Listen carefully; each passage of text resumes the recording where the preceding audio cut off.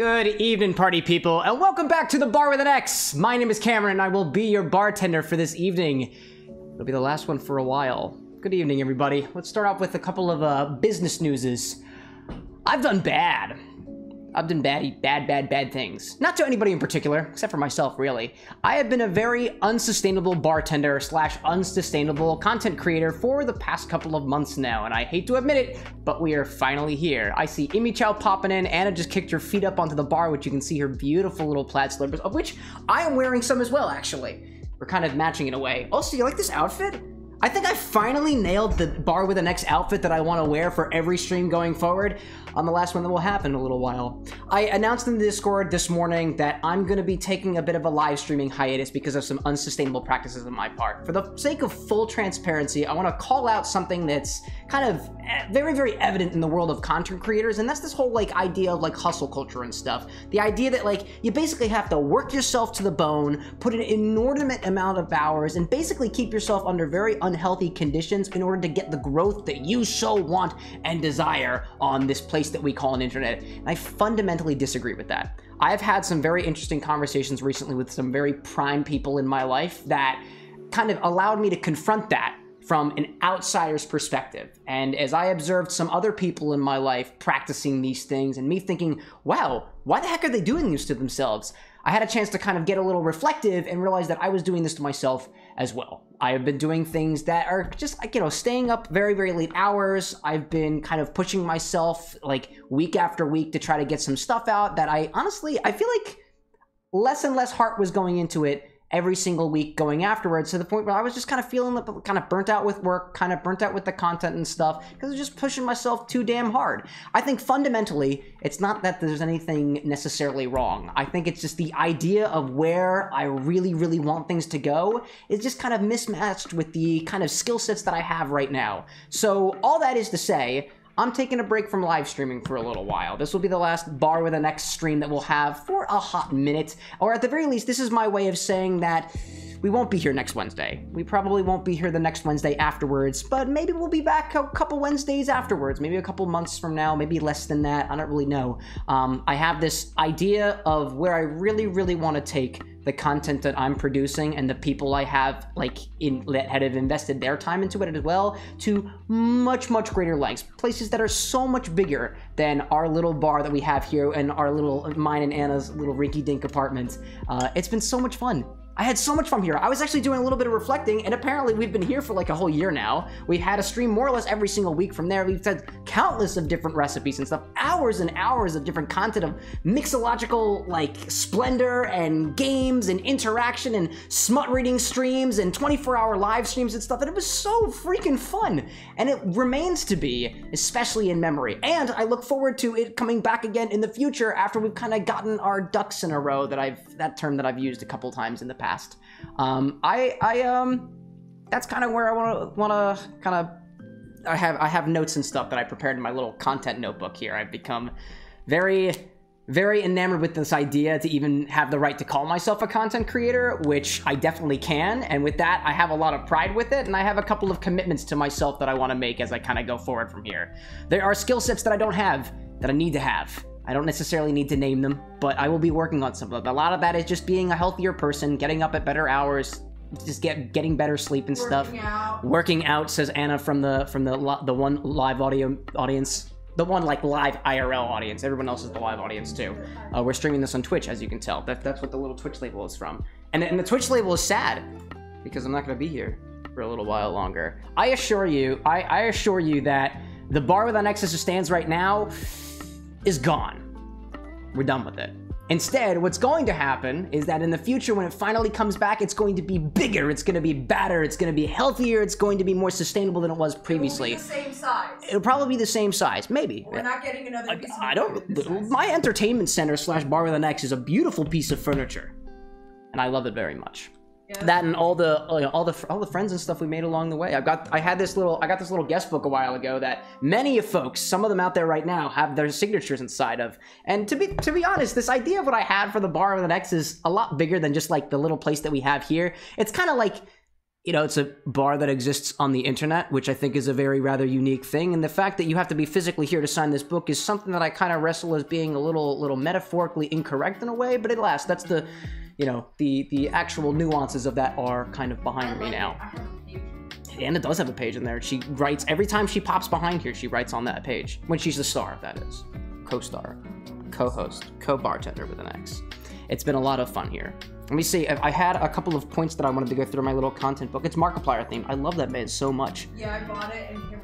Yeah, it's good stuff. You didn't buy it. I bought this for myself. No, no, I bought ah, I bought this for myself. I don't know what you're talking about. I bought it because I wanted the Markiplier stuff, but I couldn't decide what I wanted. And I didn't want to spend money on it, but I love spending money on you. You didn't buy it. I bought it. That was in high school. Anyways, I had points in here. Did I get all of them? Let's see. I'm a little burnt out. Yeah, I'm also really tired all the time. I struggle from getting up in the morning. I don't know what you call that. I have a therapist. I talked to her about it. She's awesome. I've been really unsustainable. That hustle culture thing. I like, I feel like I've said so many times that I'm going to be a more sustainable bartender. I've never made super juice before. I toss out a ton of fruit waste that could definitely be composted. I make syrups in batches that I can't actually utilize. A lot of them goes moldy, a lot of them go bad. I can't even keep up with the sheer number of like requests and stuff that I get, which honestly isn't that much. It's not like I need a processing computer to go through them all. I just like they fall to the wayside. I'm always saying I'm gonna write something down and then I don't touch anything with it. And I just feel really, I feel really like I've missed my own expectations on that. And so I have this endeavor to get to a point where I can much more proper, much more sustainably be able to accomplish all those things and to be able to meet not not anybody else's expectations but my own. I honestly feel that I think I I think we can we I think I feel like we I kind of hit a limit here, right? There was a lot that I didn't know about uh, when I first started doing these bar streams, when I first started doing Twitch streaming in general, and I had no idea about a lot of it, and I learned so, so, so much along the way. Also, learning a bunch more skills and reconnecting with a bunch of really, really important people in my life, and shaving off a couple of ones that were very not so good for me in the community, and that's a that's a good thing. But I feel like there's a next level that I want to get to, and there's a next level that I want to really elevate all of this to that I just don't have the skill sets for right now. And if I am to really hone in on those, I think I'm a big believer in like if you are really, really passionate about it, you you dive right into it. You dive headfirst and you put in as many hours as possible to make it like that little baby and raise it into what you want it to grow. And I'll be honest, I have some really freaking wacky illusions of grandeur of what I want this to be one day. I actually have somebody who I've been fantasizing a lot with and saying, man, I'd be really cool if this becomes like a studio one day. I've mentioned with an X Studios before, and that was kind of an inside joke previously and a bit of a metaphor, but I'm taking a whole hell of a lot more serious now. That, that could be a legit thing. And if somebody puts their heart and soul and hours and hours of effort and blood, sweat, and tears into that concept, it could really be a thing. And I kind of want it to be a thing. With an X Studios will be a thing one day, and hopefully the next time that the bar with an X pops back onto the airwaves, it will be sponsored by With an X Studios, who may be headed by yours truly, maybe. I don't really know. I don't know really exactly what the future holds, but I have a lot of aspirations for it as well. And with that, the commitment is that we're not going to be gone for a long. We'll be back. If you're watching along on like the VODs on YouTube and stuff, like more than likely, uh, said sometime from now, we'll just, you'll just pick up at the next video. Just click next and be like, ah, it's, the, it's that time he took the long hiatus and got really emotional about it. Next. And that's fine. That's okay. This is merely a blip that we live in. And honestly, if I can be, if I can be just a teensy bit corny, mushy, mushy for a moment, this is a tiny blip that we occupy in this little place that we call the world. And the fact that you're here, we, you're here with me, of all people, is kind of an honor. And it g- makes me feel all warm and fuzzy with the side. Studio, studio with an X, Imichao? Yeah, it's kind of the idea one day. And I mean, like, I, we got cocktails to get to, um, and nobody's made a request yet, so I'm just kind of vibing for time until somebody does. I'm not making any, I'm not doing any recipes today. None of them are mine. Yes. Make a melon baller. How you make a melon baller? I'll make a melon baller for you. I think I actually need melons for that. Maybe, we'll see. If nobody else has any requests, then she, hers is going to be the first. Now, I'm getting emotional. I am. We all are. Um, but let's see. This is what I have in mind. So I, I kind of summed it up a little bit in the Discord message that I put out, and I, I've, I've put the seeds of thought into many other people in my life already, and it would be really, really cool if we can build a community where I, whatever your passion is, just like excel at it. Whatever your passion is, be excited about it. Feel free to explain all of these things. X with an X. X stands for this. This this goes so much more than just a silent X. I swear to you. There's so many different things where we can excel and we can exacerbate and we can exclaim and we can excalibrate, which is my I don't know celebration, excelebrate or whatever. I want to be able to accelerate, there we go, that's another one. I want to be able to add th this metaphorical X to anything that somebody has a passion for, and that's a pretty damn big goal. And I mean, I got people in my life, like, I like to do cocktail mixology. That's one of my things. I put a little X in my bar. That's what I did. I got a, I got a friend of mine who does gaming. I got a friend of mine who does woodworking. I got a friend of mine who does like just general building and electronic stuff. Like, put an X in it. Like, bring it up to the next, the next level type thing. And I just, I want to be able to see that future. And I don't think I have the skill set of doing that right now, but I really, really, really want it. And I have no idea what that looks like. Uh, so I want to take time to not only really, really put the X in the bar with an X, the X in camera with an X, from a very personal standpoint, I want to see how I can like kind of bring that to other people as well. Because I feel like one of the things that I tend to struggle with is motivation. Like, you know, the whole nihilistic view of, well, why does it all matter?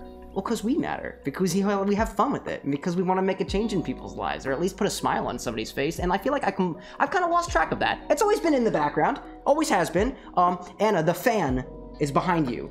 The the good vibes fan. Can you hand that to me? Because I immediately wish I could grab for it right now. And I fixed it actually. Anna broke it two streams ago, but I fixed it. It's all about bringing this to the people of the world. This is a good. Whoa! It's the good vibes fan. I wish I could just put a big old X on it. It's the X fan the thanks. The thanks is so you call it. But that's that's the kind of like that's what I've got in mind. And that's what I want to do with that. And so that's more or less kind of what I'm here to say. I want to do a lot more with this, and I don't have the skills to do it right now. And I certainly can't do it alone either. So this is kind of like a, a very open invitation of I want With an X Studio to be a thing. I want to be able to put the X in whatever you do, and ultimately, I just want to see what you're passionate about. I want to see like what you're into, just so we can all like you know experience this cool little culture movement that is the life that we live in in the in the inform in the in the information age of AI and creativity being manufactured and stuff. I just I don't I don't know what that future looks like, but I'd love to explore it with people who are willing to as well. So I mean, I'll put out here now that we have a Discord server that's kind of just like themed around all the stuff that I do, and I am hoping to put in the effort to change that in the future. It's not supposed to be about me. It's supposed to go far beyond me. It's about anybody who decides to put in as much effort as you do for the stuff that you do. And what exactly that looks like, I have no idea. Maybe maybe you paint. Maybe you draw. Maybe you also live stream. Maybe you game. Maybe you race cars. Maybe you paint little models and stuff for board games. Maybe you just play board games. Maybe you like are a drag queen. Maybe you just do fashion. Maybe you read books. Maybe you write books. Maybe you make carpentry. Maybe you break shit apart. Maybe you blow things up like in a in a constructive way. I mean, like not like not like terrorism stuff. I'm not. I don't want to put the X in terrorism, but like insert your appropriate hobby that doesn't hurt people here um, unless I guess the people who are being hurt like it. Like, I don't know, maybe you put the X in triple X. Like, I don't really, I'm not here to judge or anything.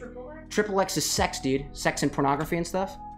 Maybe you put the X in porn. I don't know, that we, uh, I, am not prepared for not safe for work stuff. I know I that there are, that there are children who exist on the Discord, but who knows what with an X will be getting their grubby little paws into one day. I have no, no I have no freaking clue. Anna, Anna says no porn. That? That's okay. You don't have to be in that department.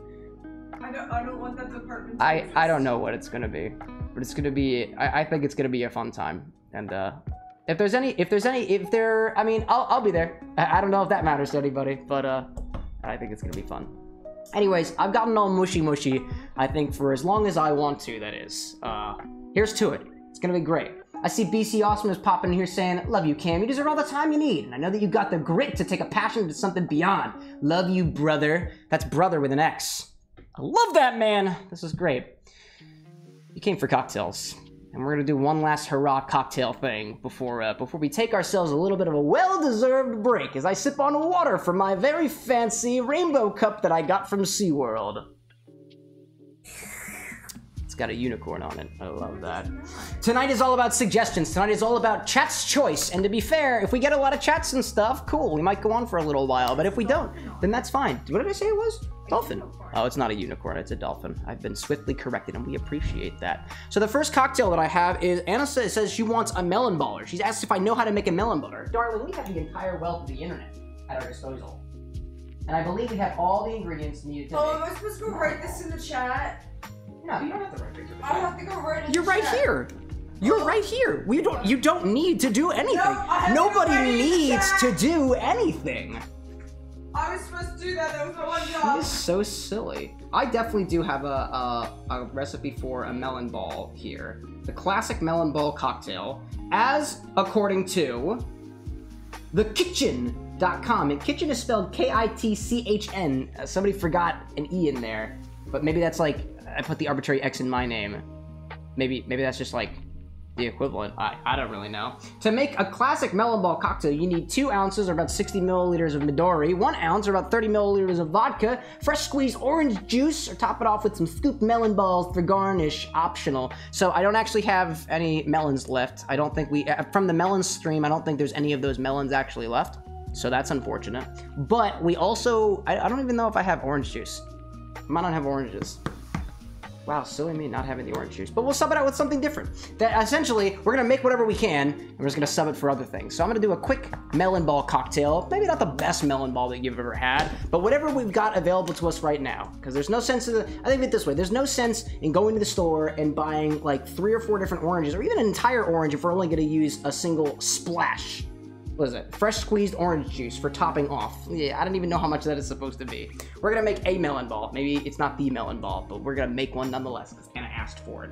And if anybody out there has any suggestions or any requests for what we should do this stream, I will also say this: there is an exclamation point suggest command that will send a message directly to my Discord. I might not make it. This is my- personal messages here. I might not actually be able to get through all of them, but I hope to be able to get to them sometime in the future. Um, and offline, you could also just go to the Discord to the suggestions channel and make literally any suggestions there at all. I'll try my best to get to it. I will continue to do content and stuff on like Instagram, TikTok, and YouTube and whatnot. I just won't be doing the live streams here because it's just a there's a lot of a lot of stuff going on. And we'll go for it. Request is the melon baller. There we go. We'll go for it. That's one way to do the melon baller. I'm actually very curious to see if there's other another iteration out there that I'm not aware of, at least from my own personal recipe book, and see what else there is. Melon ball cocktail. Because I don't think we have any orange juice, and I certainly don't have I, I don't have any melon melons. I see dishesdelish.com gives a recipe of utilizing four ounces of Midori, two ounces of vodka, four ounces of orange juice. So this orange juice notion here seems to be the one. And I think I'm gonna make a different type of melon ball. I have an idea. Instead of using orange juice, we're gonna use white cranberry juice because I think it tastes freaking amazing. And honestly, I think it's just gonna be even better than before. It's gonna be a different cocktail. Melon ball asterisk. But I need to go downstairs to go get some white cranberry juice. There's this. So actually, what I've done as well is if you type exclamation point inventory, actually, I'll just do it for you because this is we're supposed to do all the work for you. Inventory. There's a Google want it this juice. Google Sheets list that has everything that I have stocked at the bar of the next all around the apartment. Anna says she wants it with raspberry lemonade. Yep. That's what we're gonna do. It's a melon. It's a raspberry lemonade melon ball, and it's totally her own. Raz, raz, raz, lemon, melon ball, and that's Disney Queens.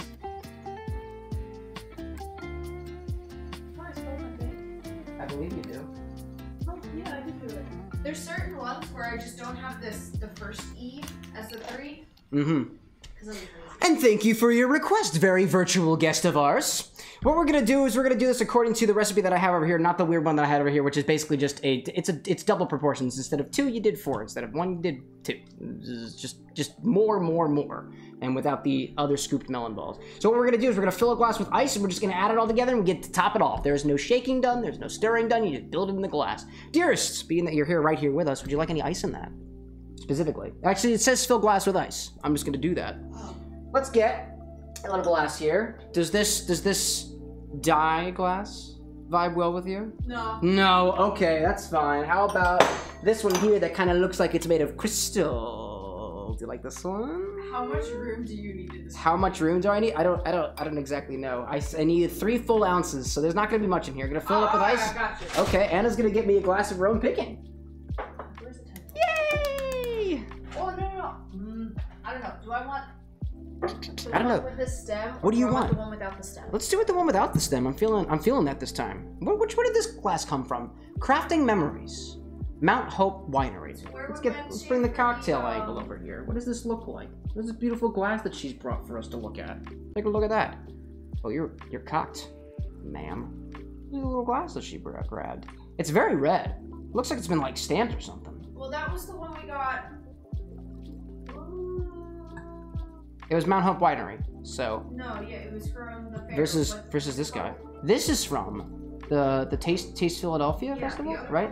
It says Gourmet. Shows Food and Wine Festival. Gourmet shows. Gourmet shows. Yeah, we were gonna print this out. Oh, that's so cute. All right, let's make a melon ball, right? Basically, we're just gonna put everything into the glass. We'll bring the cocktail angle down here, and we'll set things up. Wow, look at that! I'm gonna move you out of the way so that we can bring this a little, little farther down, little farther down. Hello, cocktail angle. Come on, come on. There you go. Hello, little hello, little buddy. Hello, little buddy. This thing doesn't have the full range of motion that I would desire it to be, but here we are. All right, there we go. We're gonna put it back there. Dears, would you mind putting this wine glass away?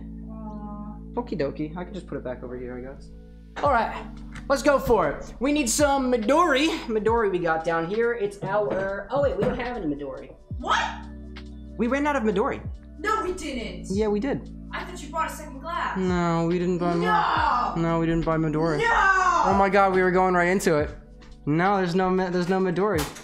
We have well watermelon. Do we have anything? Wow, this is off to a great start. Yeah, we used off all the Midori last time. No. Two times ago. It's all gone. You bought the new glass. No, I didn't buy the new glass. Why would you do this? I was too busy spending my money on various other things throughout the states of the United. this is gonna be quite the melon baller. I'm trying to think. We may have a water. No, I don't think we have a watermelon spirit. Oh my god! All the melon stuff during the melon stream of like two weeks ago, we used all of the melon stuff. What an interesting, interesting, interesting place that we find ourselves. Makes me so sad. That's okay. It's okay to feel Are sad. I'm very positive. There is absolutely no Midori. No, I, I literally looked through all of the bottles today to put that inventory together, and there's no there's no Midori. She's she's double checking. She doubts me. There's no Midori. You can even keep your spirit. It would be over here, and there is no Midori. It's none of it. No Midori. None of it. Why do you? Would you like to pick another fruit? We'll make it a different type of ball. Oh. So this is for everybody else to know. There's no there's no Midori here. There's none. I, pinned the inventory link up there. So. You could check that if you want to. I'm very sorry about that. I totally led you on.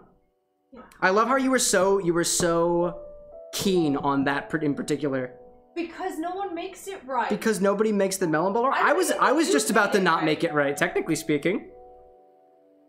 She's searching for things. She's searching through the bottle collection. You, I can can I hand for you the inventory?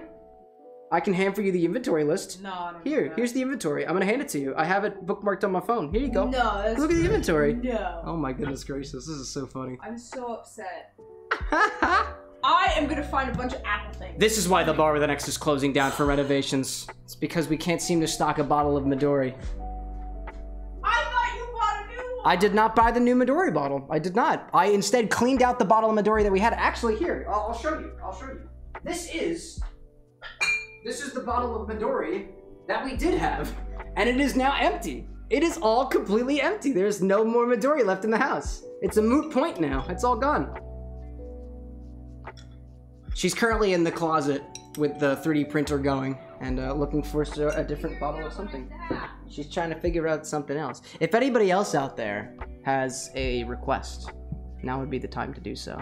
We'll queue it up for the next one. It'll be, we'll get there real quick. I promise about that. Yes, my love. The apple The apple thingy? that we bought? What's the apple thingy that you bought? The candied apple liqueur by Two Trees Distillery? Yeah. Should be on the ground. It's one of the bottles on the ground. I can grab it for you if you like. I found it. She found it. Okay. Make an apple lemonade. I'm gonna make an apple lemonade thing. We are going to make a totally not melon ball. Honestly, this is basically its own cocktail. This is basically, this is its own cocktail, really. We're going to make, I am very sorry that you were disappointed. Oh my god. It's okay. If Now we, you have to use all of those. Hmm? I do, and I plan to. So this is a different type of melon ball. It's actually not a melon ball at all. I'm gonna wipe that off the It's board. gonna be an apple ball. We're gonna call it an apple ball? Even with the, uh, what is it? It's still the ra- it's still the Raz lemon, because this is a strawberry lemonade Svedka. They We got candy apple. Late apple. Le apple? The Who calls the le apple? Because it's an apple, but the lemon has love. Le ap- Wait, who calls it that? You call it that? You call it that. You call it that. I'm getting better at my my. All right, all right, all right, all right. We, we've got a cocktail that Anna has coined herself. She specifically requested the ingredients, and we are going to mix it up for her. I just have to get you to start somewhere. We do. Someone's gonna have to. We like, do, we your do, we do. Absolutely. Let's see. We're gonna do something that we're gonna call uh, a Le Apple Ball. Does Le Apple Ball vibe well with you, my dear? Fine. Le Apple Ball? You say you say fine. I don't know if you're satisfied. I'm so disappointed. Just a little disappointed. Oh my god. This is how it is. Le apple ball. Le apple. Apple ball. Ball. I'm not taking out any of your like. Le apple ball. You could have taken out anything. The entire, I will put it this way, the entire bar with an X inventory is at your disposal. It can be an established recipe. It can be just a combo that you just really want to see a person live on the television slash computer screen just do. We've got spicy tinctures in there. We've got tinctures that probably shouldn't be a, a thing at all. There's so much in there. But let's do it this first. So first we're gonna fill our glass up with ice over here. I'm gonna grab some ice. I'm gonna go for the mighty United States of ice. Not like the bad ice. Again, I was mentioning that we're not we're not into the whole like uh, terror terrorizing countries thing. Oh, let me bring the let me bring the cocktail angle back over here because we're actually building the cocktail now. Now it's not called the melon ball, but the apple something or other. The apple ball. The apple ball. That's what it's all about. I'm gonna put Texas in there. I just I just feel that. I just feel that this is a very Texas type thing. Texas like apples. Texas. I mean, I don't really know. Johnny Appleseed was a story of American folklore who went around planting apples all throughout the United States. I don't exactly know where he came from. I don't know where he went. I don't know where he come from. Cotton-eyed apple seed, Apple Joe, Apple Johnson, Apple Johnson, Jojo, Apple John, Jojo, Jabo, Bo, Bo, Bo, Bo. Anyway, I'm putting ice in the glass So many states. the entire let's see the entire like mid midwest and new york pennsylvania delaware maryland new jersey we took ourselves and the midwest and put it into a glass for the sake of whatever this is that we're making here which i'm sure is going to be very good a lot of the stuff is very sweet so it's going to be uh oh we also need the vodka we have the the strawberry lemonade vodka we need something to dilute it with a little bit dilute on the flavor unless you want it all yeah? Alrighty then. Alrighty then. We're making it to Anna's specifications. We're just gonna see if this tastes. The original recipe calls for two ounces of Midori and one ounce of vodka. Now, I'm thinking because we don't have the Midori there, we're gonna take in its place the sour apple liqueur that we have, the strawberry lemonade liqueur, and the two trees to make up the most of the alcoholic components. I think, I let's see, the bottle of Midori is what percentage of alcohol? Let's see what we say here.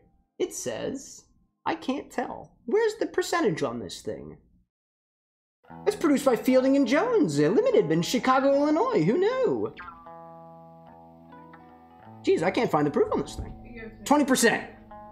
Twenty percent. So twenty percent of Midori is going to be point of the two ounces of Midori is going to be 0.4 ounces. Call that about a half an ounce. So we'll put one point five ounces, or about. I'm forgetting my math in my head. It's it's 44. 44 milliliters of the alcoholic stuff, and then we'll fill it up with the list of strawberry stuff, and we'll see how that goes. I believe this is the least sweet. This is mid sweet. This is most sweet. So I'm gonna kind of divvy that up appropriately, spread across one and a half ounces or so. I'm just gonna put that right into my measuring majigger over here, so I don't really keep track of our measure, uh, so I don't lose track of our measurements. We're gonna add, let's see, the strawberry lemonade in about let's go about I'd say half an ounce of that in there. I know Anna likes it sour, so I don't. Oh, I'm trying to Ooh, this guy doesn't want to. The Svedka does not want to go down properly. We'll add about quarter of an ounce of our Johnny Bootlegger sour, sour apple liqueur, and then we'll add about a, like a full ounce, sorry, 0.75 ounces of our Two Trees Distillery candied apple liqueur. And actually, I poured that out a little. I didn't put enough of the sour, sour lemonade in there, so I'll put that up to the top. We start off with very quality cocktails here. I'm talking like the most complex things imaginable. There we go. We'll top that back off there. So about one and a half ounces total of our alcoholic spirit. Just pop that right into our glass. It could definitely be a little more green.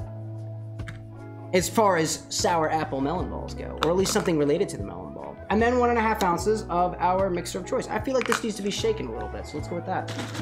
I'll have a recipe. Do I type it here in Discord? Feel free to pop it right here in chat, Imichao. That way, it'll be right for the taking.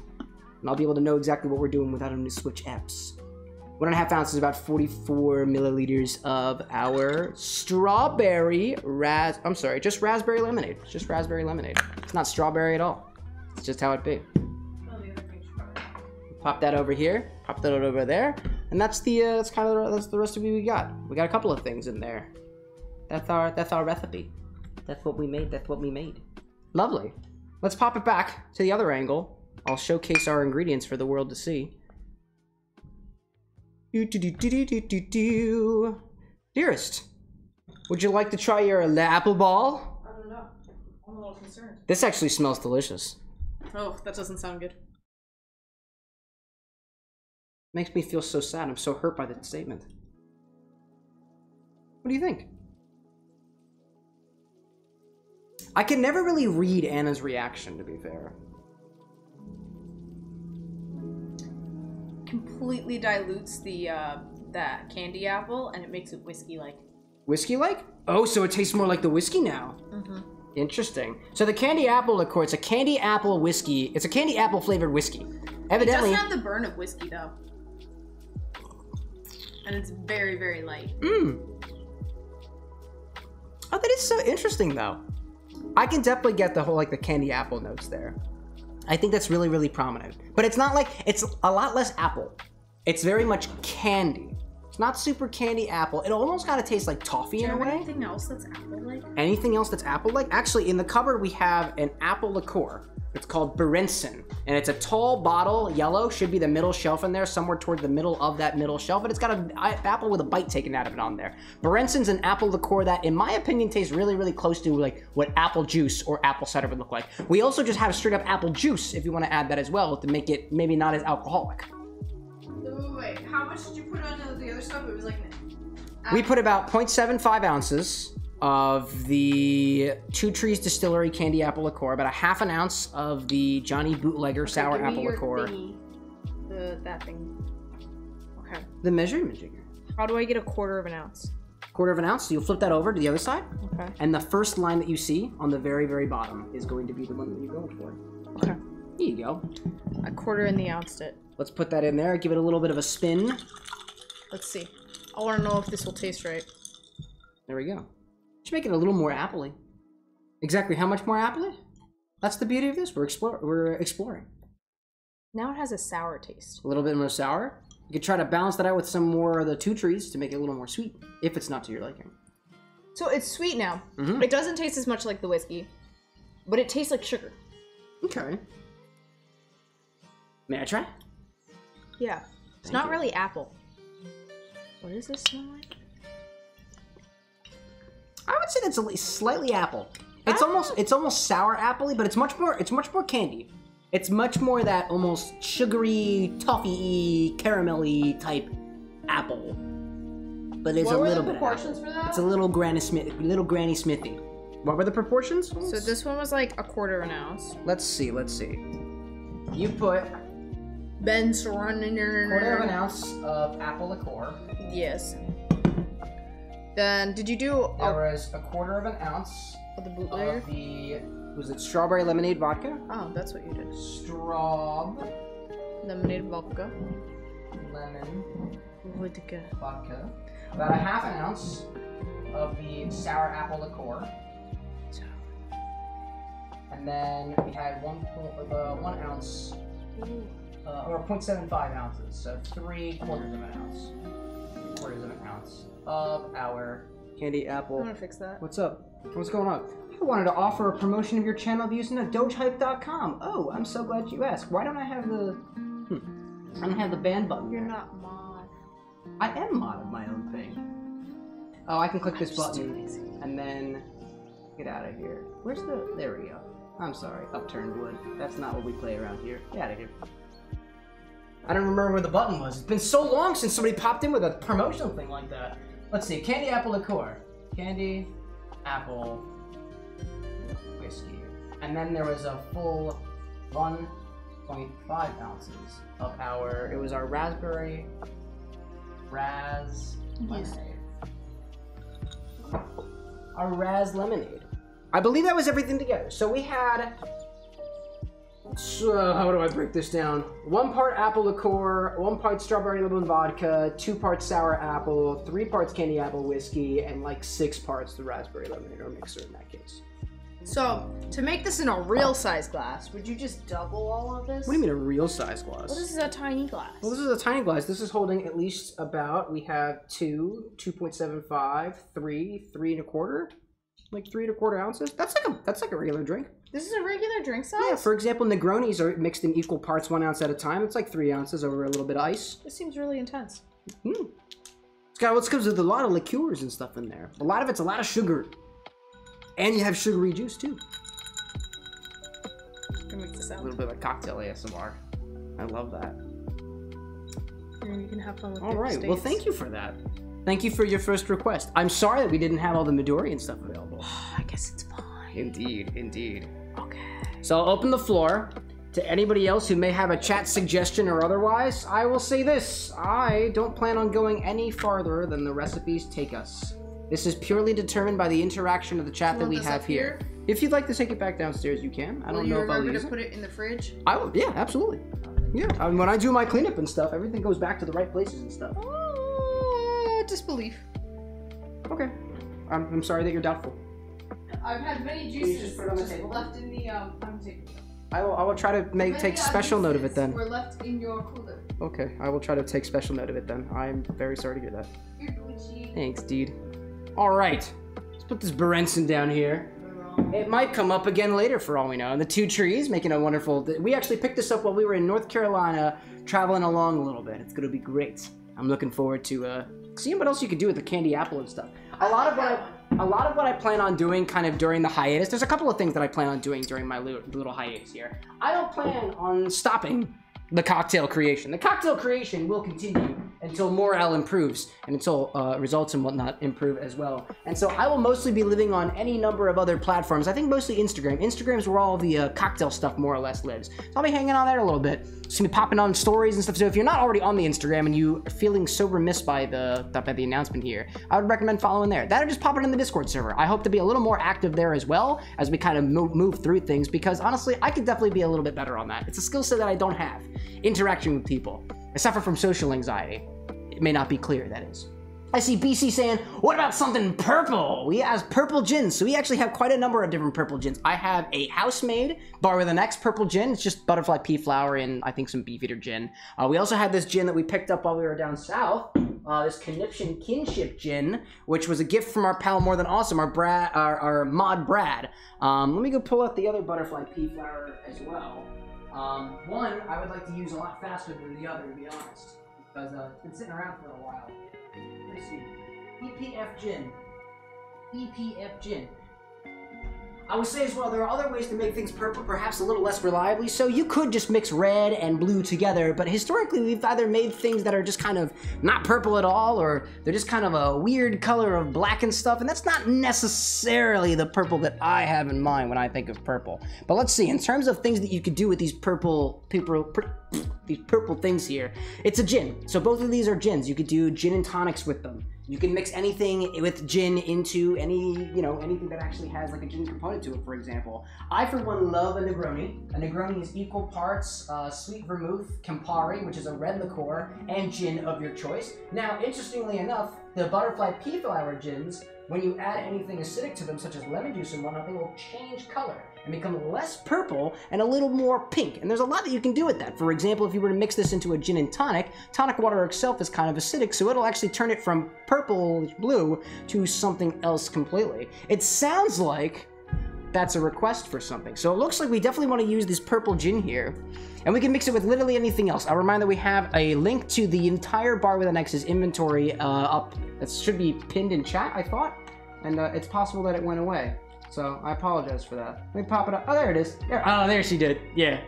Anna being the mod powers that she is. That's a Google Doc link. I literally just set that up earlier today. I realized I apparently never put the inventory of the bar an X up there. And as I was going through all of it, I was like, wow, there's so many different things that we have here. And that's like really freaking cool. And I have I really had no idea. I feel like one of the things that again that I want to try to improve for the future is to be able to keep track of all the different bottles that we come into the collection of, all the different syrups and stuff that we make, all the different reagents. I just kind of I have a habit of stockpiling things and hoarding things. Also not very sustainable. So that's something I'd like to work on going forward as we move up to the next level of things. Dark Tiki popping in here and saying, "Hey, how are you doing, my dude?" Honestly, man, kind of stressed out, all things considered, kind of spread a little bit thin, but I have acknowledged that and we are moving forward with that. This will be the last stream that you'll see from me for a hot minute or so before we go on to the next level of things. It'll be it'll be good. It'll be a good improvement, I assure you there. If you'll excuse me a moment, I'm gonna go close the door to the closet because I just realized that the 3D printer is going and I can hear it very clearly from out here, and that's why I keep the door closed. We're printing some things for our wedding using a filament-based printer. My pal Dark Techie knows plenty about that stuff. I see PC saying, hmm, definitely not sure what would go well with that. Anybody else here got ideas? I'm just gonna simply call this a sweet little Empress type purple gin and tonic. We've covered that on the show before. However, it's kind of cool to watch. So we're gonna do it live for everyone else to see.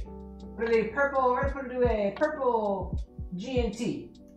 Purple G and T. Actually, I'm gonna change that up just a little bit. I'm getting ideas here. So another type of drink, when I was doing my bartending classes once upon a time at a now defunct bartending class that I found out recently called Aqua Vitae, one of the recipes that I learned was a TNT, like dynamite. A purple TNT. And a TNT is quite simply it's gin and tonic, but it's a very specific type of gin, specifically Tanqueray gin, a gin that honestly I don't use very often because I don't really have a lot of it, but we're gonna use that in place of here. I see Dark saying, I told you my X-axis belt broke, right? Oh, I did not hear about that. Oh my goodness, I'm so sorry to hear that. Hopefully it's easily replaceable, but it's the belt, right? It's probably a kind of kind of a bitch to get the belt back on. I'm gonna go to the corner and grab a little bit of Tanqueray gin that I happen to have at the bar with an X. It's a teeny tiny one. Actually, hold on for a second. Why am I walking over when I can bring everybody with me? Hold up a second. The beauty of the cocktail angle is that I can unplug this thing and move you along with me. Let's see if I can get that thing working. Oh yeah, we totally got this working. We're gonna go on a journey, everybody. Here we go. Ignore the, the bucket, ignore all the other stuff. Uh, this place is a mess. We just got back from the vacation and nothing is totally clean yet. We're gonna go into our little closet here. I hope y'all can still hear me. Put everything on, it's a mess in here too. All the different bottles that used to be back there. We're printing a little thing great. And my little Tanqueray is down here. If anybody sees any bottles over here that look cool, not the not the thing with apple cider vinegar, I'm not putting them in my mouth. There's plenty of stuff over here. In case. We'll bring things back. Thank you so much, closet. Bringing our way back here. Bringing our way back. Back to the bar with an X. There we go. We'll put that back up on there. Just a little bit of a a tour, per se. That pops up every once in a while. Gotta turn, gotta put this guy back up on a stand. There we go. So I got a little bit of Tanqueray gin. I'll pop the cocktail back angle, pop the cocktail angle back over here so we can get a view of whatever glass that we're going to use. And we're gonna watch as the magic happens. I guess technically speaking, right? So your regular TNT is gonna use Tanqueray as the gin of choice. However, we wanna make it purple. So in place of that, we're gonna split the base of a regular gin and tonic, and we're gonna use half of the Tanqueray and half of the purple gin that we have over here, and we're gonna see we're gonna see what happens with that. I'll grab one of my glasses over here. I tend to just take a little bit of a little nice spherical cube type thing and uh, I just kind of pour things over top of it. You could do gin and tonics other ways as well, and there's probably, there's a particular proportion that you would usually use. For me, I just kind of use two ounces of the gin and one ounce of the tonic. That's the type of bitterness that I enjoy in my gin and tonic, so I will spread that out there as well. You could also add a little bit of simple syrup if it's not as sweet as you like, but that kind of depends on the tonic the water that you want to use. So I'll go over here, I'll get myself a little ice cube, or an ice sphere. I feel like this would go really well with an ice sphere. Let's go with that. I think that'll look good. There we go. Pop a little ball in there. Move on. I see dark sand. Yeah, it's replaceable. Just gotta wait till Friday for it to come in. I'm also waiting on a new silicon sock to come in for it too. That sounds also very fun to replace. What part of the printer is the silicon sock? I don't know what part of that that is, to be honest. I guess I don't do as much 3D printing as you do. Let's see. Let me grab ourselves. We have our little Tanqueray. And honestly, I don't think there's a lot in there. I'm just gonna say we're just gonna use the rest of the Tanqueray. How much is that? Is that like an ounce or so? Let me grab my measuring majigger and see if that's a full ounce or so. It just about is, so. Let's take the rest of our Tanqueray, pop that in there. We'll do an additional ounce of this Conniption Kinship Gin. Actually, I'm not going to use this one. This was a gift from the friend of ours, and I would love to have more opportunities to taste this on its own to get its own particular flavor characteristic. So I'm just going to use the House Butterfly Pea Flower Gin that we have. As you can see, got a nice purple color to it. I think, I don't remember when the last time I used this was. It's good stuff. Apparently the silicon sock is on the hot end. Thank you for that info. I completely, I, I'm still trying to figure out exactly what piece of the 3D printer that is. I'm having a hard time visualizing it. We'll add our purple, which combined with our Tanqueray has a nice blue color to it.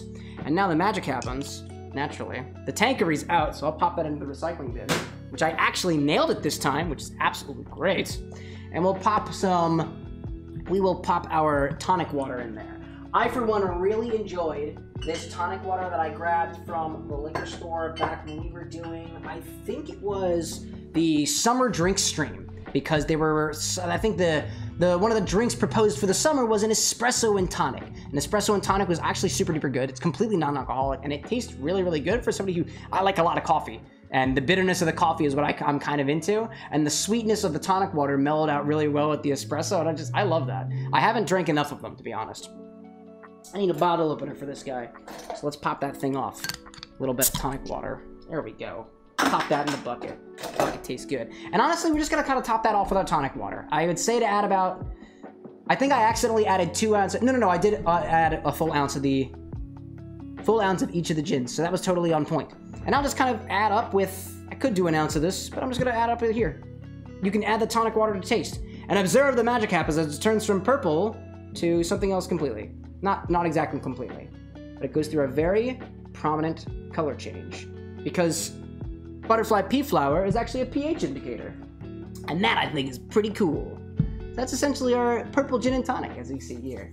What it does is it just keeps the heat more under control. That's that silicon sock that Dark was talking about before with the uh, 3D printing and stuff. So honestly, that's it.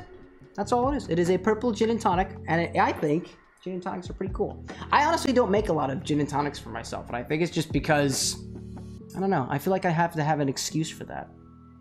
It would probably be a more economic, it would probably be a more sustainable drink in the long run because it's only two ingredients. Both of them are really easy to get your hands on as opposed to, let's say, a Negroni where you need Campari, which is the bottles come few and far between. Uh, relatively speaking, for example, there's only one Campari. There's plenty of different types of gins out there. And I guess there's plenty of different types of sweet vermouths as well, but I tend to go for the Carpano Antica because that's kind of the only one that I have known.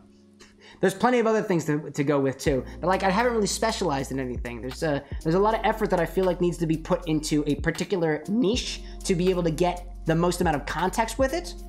And uh, honestly, with all the stuff that we've been putting ourselves through, I haven't found the time for it. And I think that's a piece that I want to explore a little bit more.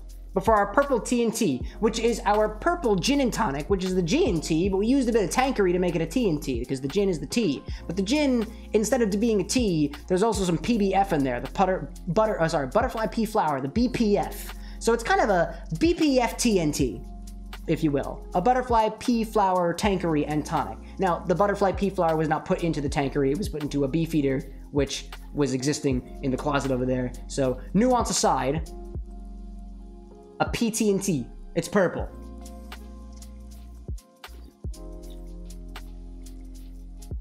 Oh, it's got such a nice bite to it. Actually, in particular, as opposed to, so this particular ratio of the two ounces to one ounce of your gin constituents and your tonic waters are a little more alcoholic. It's a little less sweet. If you wanted to make this more sweet with these proportions, you can add like a quarter of an ounce or simple syrup or though. Right now, what I'm getting from here is a lot of those botanical floral gin notes. It's very, it's almost like cucumber. It's kind of like a flower. It's kind of like, it's almost, it's almost basil in a way. And by that I mean like basil has sort of a, a savory note to it, in my opinion. It's kind of a savory cinnamon, if you will. And there's a slight little savoriness there. That could be the that could be like some very very slight anise notes from the gin. That could be something a little else entirely. Remember, I I haven't tried a lot of Tanqueray on its own, so that's a flavor characteristic that I haven't quite explored. So it might be coming from there. Um, honestly, this for me is a nice balance between the sugary sweetness of, let's say, tonic water and the bitterness from the tonic water as well as you know there's others the flavor stuff around it as well. I think this is for me could be a little bit sweeter with this particular portions. And you can add any number of syrups to it too. And honestly while we're on that topic it's purple. So i'm just going to add a little bit of uh, some rhubarb and rose syrup to it. Just a, just a touch to bring up the sweetness and to again emblazon that idea of the sustainability that i want to you know better live going forward. This bottle has been in the fridge for a while now. It's very shelf it's very shelf stable. It's been good for a while now, but even still, I make like an entire bottle of this thing and then I just don't know what to do with it. I'm at a point where I'm like, for a while, I was thinking that I could do like live stream giveaways where I send out syrups and stuff to everybody so everybody can try to use it. But like the logistics surrounding that can just be a little, it's something that I'm honestly a little bit anxious about, so I just never got around to it. But I'll add just a touch of that syrup, which, ooh, actually, I'm bringing the angle back over here. That is such a very, look at that gradient. I did not know that was going to happen. That is so cool looking. I see Image saying, okay, this is for the recipe. Do you have a can of chickpeas somewhere? I don't have a can of chickpeas, unfortunately. The inventory that's pinned up above has everything that I know to have here, and chickpeas, unfortunately, is not one of them. Aaron and I are talking, can't watch right now, but yay, purple gin. Dude, that's the stuff. No chickpeas, unfortunately. I actually have, I had a container of fava beans that my, salted fava beans that my mother gave me for the, I think it was the, I think it was the Christmas holiday when I got all those snacks in my stocking and stuff. Let me get one of our bar spoons. It's a pink one that we picked up while we were on uh, one of the trips that we took. And I'll give this a little bit of a spin to add everything together. This is not any more or less purple than it was previously. Maybe it's a little bit lighter. And I'm sure it'll be a little bit more sweet. Hmm, it's got such an interesting... Ooh, so now, obviously, there's a very particular rose characteristic. So, rose, I don't think, was a part of that flavor palette I was getting from the gins before, but now it most certainly is. And I think we added, like... I'm gonna say we added, like, a quarter of an ounce of that rhubarb rose syrup. I like that. That's so different. It's still a very short cocktail. It's not very sweet, in my opinion. It could be sweeter, but this is pretty good. There's just a lot going on in there too with all the different flavor components of the botanicals from the gins and the very powerful rose flavor and like I'm not getting a lot of the rhubarb in there. Rhubarb is a little sour to me and this is this, I'm not getting into those pleasant sour notes. But the savoriness is still there ever so slightly. I like that very much. Image says, it's all good. I can compromise. I say, Kidsandan in there with the purple drink. Hello, purple drink, sir. I don't know if your name shows up purple on the chat preview, but your name is purple to me. I think that's very fitting for the situation over here. So yes, I will open the floor back up to anybody else who wants to suggest a drink this evening. As I announced earlier in the Discord, I'm going to be taking a bit of a hiatus from streaming. Life is kind of crazy right now, and to be honest, I don't have the skills necessary to level up the bar to, with an X to the level that I really want it to be someday, so I'm going to go into the shadows for a little bit be existing in the shadows in different parts of the social media, internet, and whatnot. I will still be active, just not here on Twitch. So the Bar with will be closing for renovations a bit. This space that you see here is going to become like a cocktailarium, so to speak. Uh, I'll be trying to do more cocktail competitions. I'll be trying to do more posts and trying to get more personal with the flavors and stuff in the off time. That's my commitment, at least. Negroni, Tom Holland style. What's the Tom Holland Negroni style? We have to bring that up. Let me do a little bit of cleanup over here and we'll see what that is so we can see if that's the kind of thing that we can do. That was our purple TNT, or technically our BPFNT. I think I actually, I wrote that in the wrong order on here. No, butterfly pea flower, BPFTNT. BPFTT. That's what we made. BPFTT. Let me grab a coaster for this thing, put it off to the side. Pikachu can have a big old wad of the purple drink this time around. Here you go, buddy. I'll take my tonic water, and that'll be good for the morning.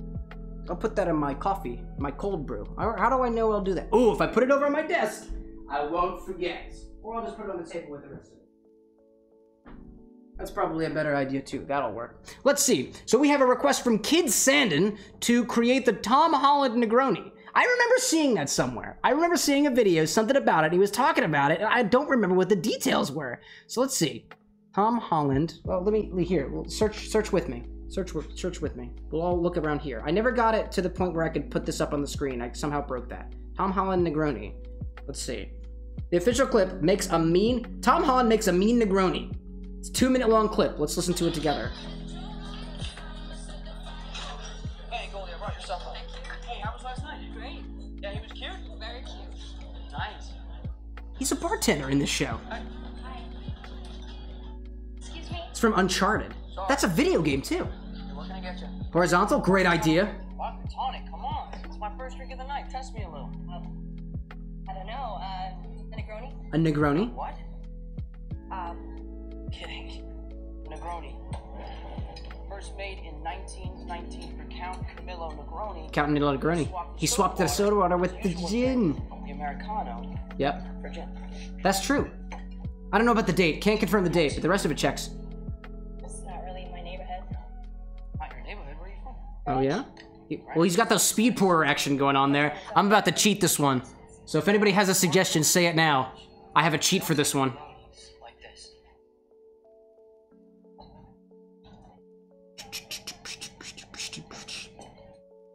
Wanna leave it open or closed? Open probably. It's only daddy's money. Daddy's money, bro. Is that all we get? Oh, there's more of it. Ooh, okay, I'm getting ideas here. She's got the cigarette. I've got ideas. I wonder. I've got these Turkish tobacco bitters, and I'm just kind of wondering how that would go in a Negroni.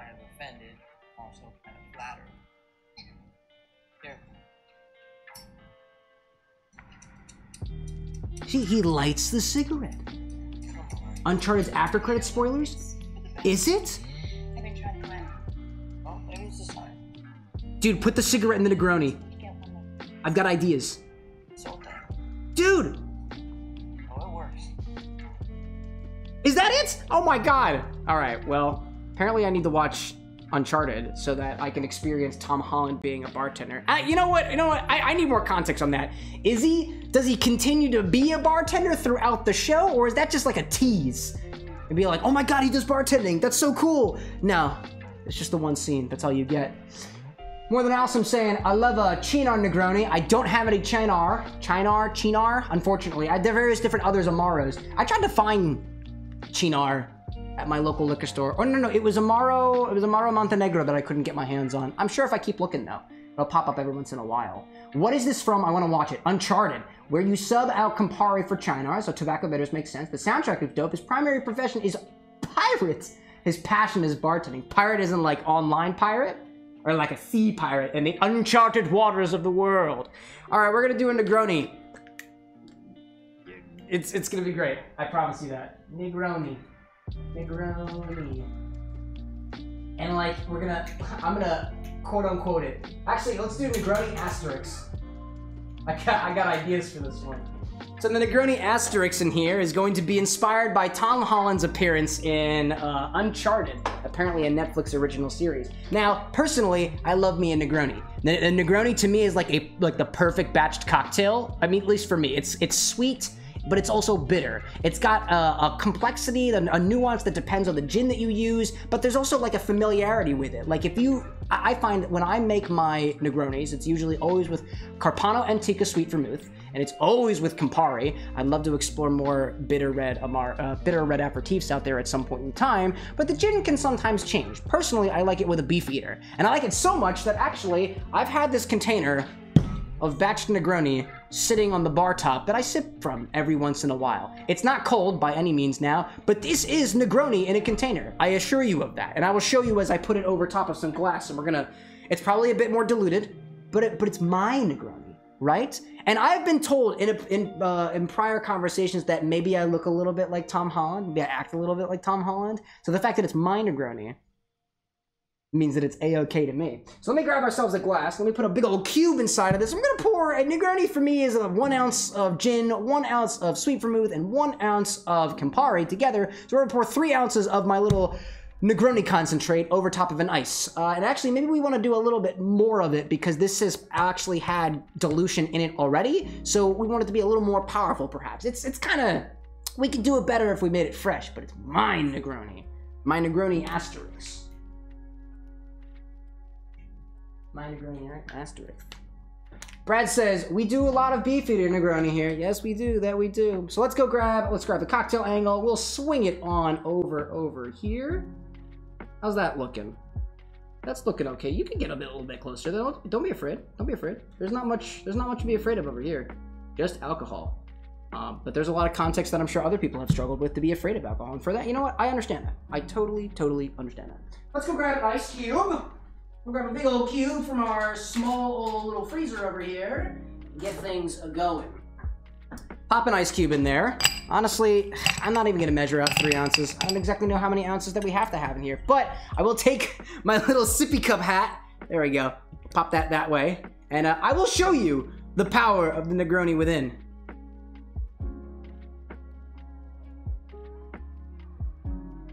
And we're just gonna wait for that for a little bit.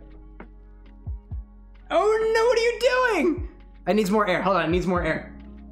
There we go, there we go. Ooh, I see that comment from Imichao. It looks like it's a recipe. Let's see what we got. Let's see what we got. Ooh, I love that nice ice crack. My favorite part. My favorite part. All right, we need a... I feel like maybe we're getting a single ounce out of this. Actually, I have to try that, right? I have to measure this out. How much are we getting out of each of these little pours of ours? No, don't spill, don't spill, don't spill. Oh! All right, keep going, keep going, keep going. Keep going, keep going, keep going. It's speed pouring, but a hell of a lot more difficult. Well, maybe it's just the angle. That's another ounce of it. There we go. Go for that. We, we don't need... Yeah, go for it. You've got it, buddy. You've got it. Imichao saying, oh, uh, more than awesome says, I see celery bitters. I want it. I want it. I... Excuse me, sir. I want those Turkish tobacco bitters. But first what we'll do is we'll taste the Negroni as it stands right now let me take this recipe that Imichao has here and let me copy it over so that I do not forget what it is. I will read that in a moment. Let me pop that back over here. Yes, I got that. Cool. How's it so far?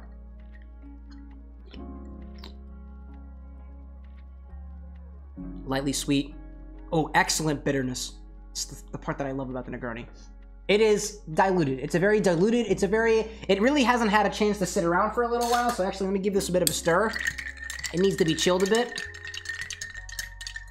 And then I'll sit there and continue to dilute for the rest of the stream. That's the important part about ice.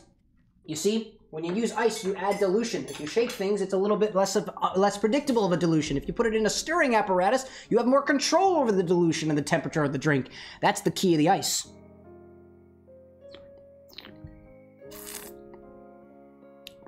Mm. The bitterness is a little more pronounced now. And the sweetness is just like, it's very light. It's very light sweetness. But I kind of want to know, if I were sitting in a bar with Tom Holland serving up Negronis to random women, I've never watched the show, so they're all random people to me as of right now. I didn't recognize the actress. And she was smoking a cigarette. How do we best emulate that? And I would think that these little Fee brothers Turkish tobacco bitters. I have never tried this in a Negroni before. I literally have no idea what this is going to be like, but I know that these are pretty, these have a pretty powerful taste, so I'm just gonna kind of pop two dashes on top and see what happens. Maybe one more. Just one more, just for funsies. I see Imichao saying, before Melfi's was a restaurant in Charleston. Oh, we'll get to that in a hot second. But the Melfi family owned a pharmacy on the property, and their cost of coat of arms still displayed in the restaurant today. Coat, not cost. I caught you there. No worries. Let me give this another quick spin again, and then we'll go to that recipe and see if we've got what it takes. I definitely put the bar spoon in backwards, but that's all right. I love that I'm getting mileage out of this pink bar spoon. I keep putting this thing in my mouth. Should be cleaning it like this. That actually... Ooh. Ooh. I'm a fan of that so far. Come here. Come here, you. Pop you up here.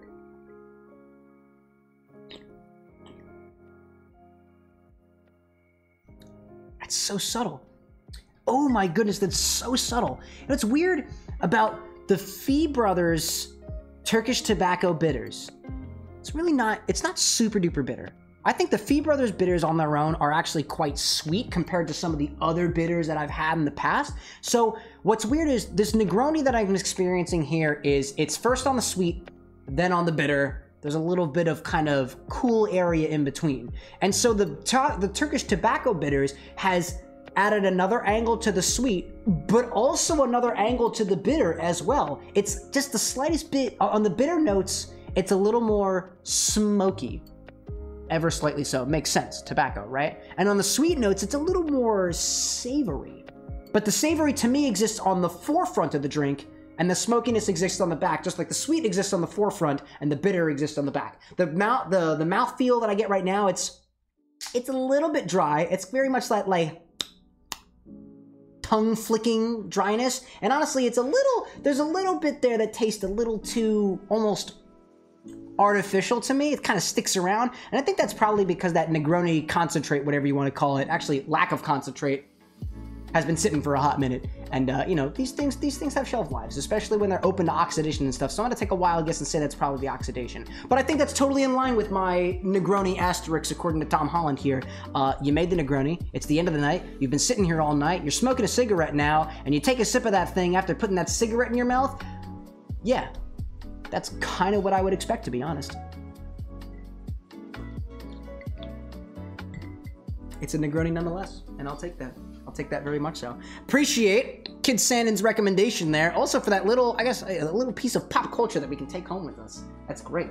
Imichao says, the book recommended enjoying Dr. Melfi's medicine, prosciutto, and dates. When we return, there are so many more cocktails that I want to make for you all. Oh, absolutely. Now, Imichao, as you may recognize, with that little diamond little VIP thing there, has been a guest at the bar with an X before. Now, I will remind, just because we're not doing live streams doesn't mean that we're not doing content in general. I do have an Instagram account and I do have a YouTube and I do have a TikTok as well that stuff gets posted to eventually. One of the things that I want to kind of keep myself to is just kind of keeping up with the times, right? So the times seem to be ruled by the algorithm. And so the algorithm is something that I want to get intimately, intimately familiar with. So more than likely, depending on how often you are on social media and whether or not you're following or not, you'll see some different types of Cameron content or Bar with an X content on those different social media outlets. If you want to keep track of this stuff and this is the kind of stuff that you're into, I would recommend going there. This isn't like a selfless plug or anything like that.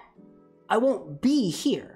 So if this is the kind of stuff that you enjoy, you should pop on over there. Or if, if you like to just pal around on the company and stuff, you can hang on the Discord as well. We're active there as well where we it's not even just my own content it is everyone else's content as well. The with an x community extends just more than just beyond cameron with an x himself i assure you of there in any case so let's get to this recipe that we got from imichao over here. I do have the chat message that is saved.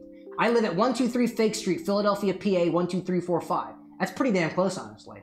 So the recipe that Imichao provided for us was Dr. Melfi's medicine. It is half an ounce, or about 15 milliliters of Campari, half an ounce of Beefeater gin, about 15 milliliters, half an ounce of sweet vermouth, that's like a that's like a Negroni so far. Lemon ju- three quarters of an ounce of lemon juice, half an ounce of simple syrup, or half an ounce of chickpea water, but we don't have that, so we're gonna use the simple syrup instead. Half an ounce of egg white and a dash of celery bitters will do. Combine all those ingredients together, shake vigorously, double strain into a Collins glass, garnish with a fruit peel. So the thing that I see there is that chickpea water, and chickpea water actually is a kind of substitute for egg white. If you want to go for like a, a vegan option there for your egg whites, some of the one of the things that I never got a chance to explore, at least here for now, are different egg white substitutes and things like aquafaba, the egg whites themselves, fake egg whites, chickpea water. Chick- I've seen videos of people taking the water out of the chickpea cans and they they put like a little milk frother to it. You know, like one of one of um, where are you?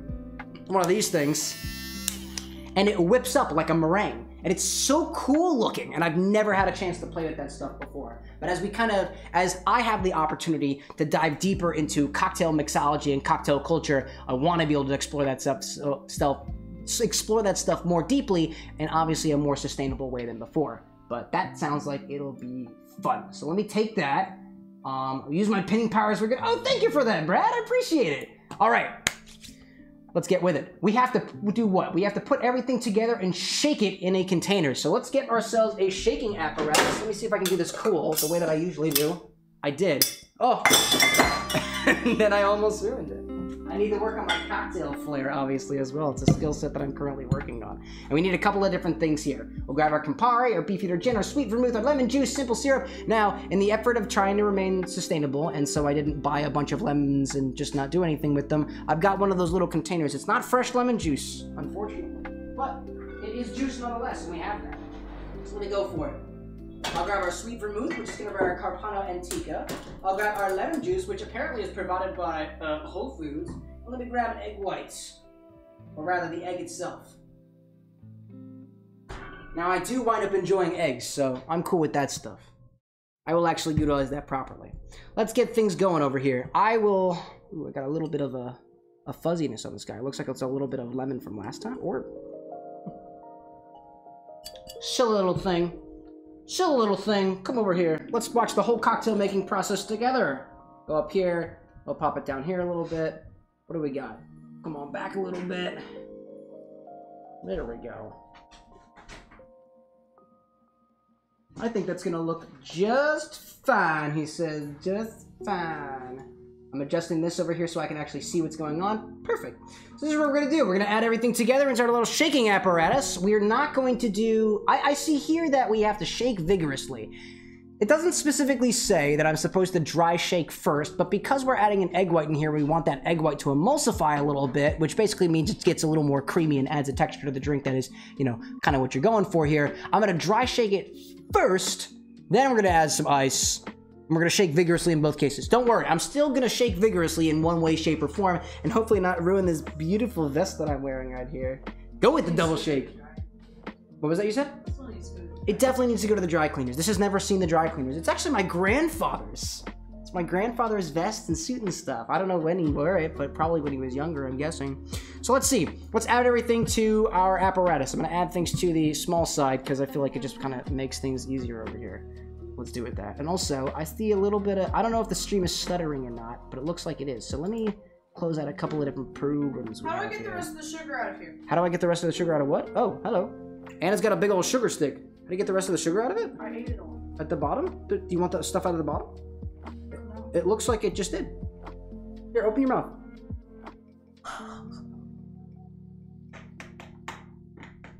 Did you get all that? No, there's nothing left. Chug, chug, chug the sugar. Want another sugar stick? Okay, I can't provide that for you. That's not a part of the ingredients list that I pinned once upon a time. Sugar stick. I don't want the sugar stick. Thank you so much for offering it, though. Guys, I have to go somewhere where they have sugar sticks again. Hi, Anna. This is Brad. Hot bread. We have uh, the oh, you're gonna. I feel like I'm gonna miss these little Anna moments.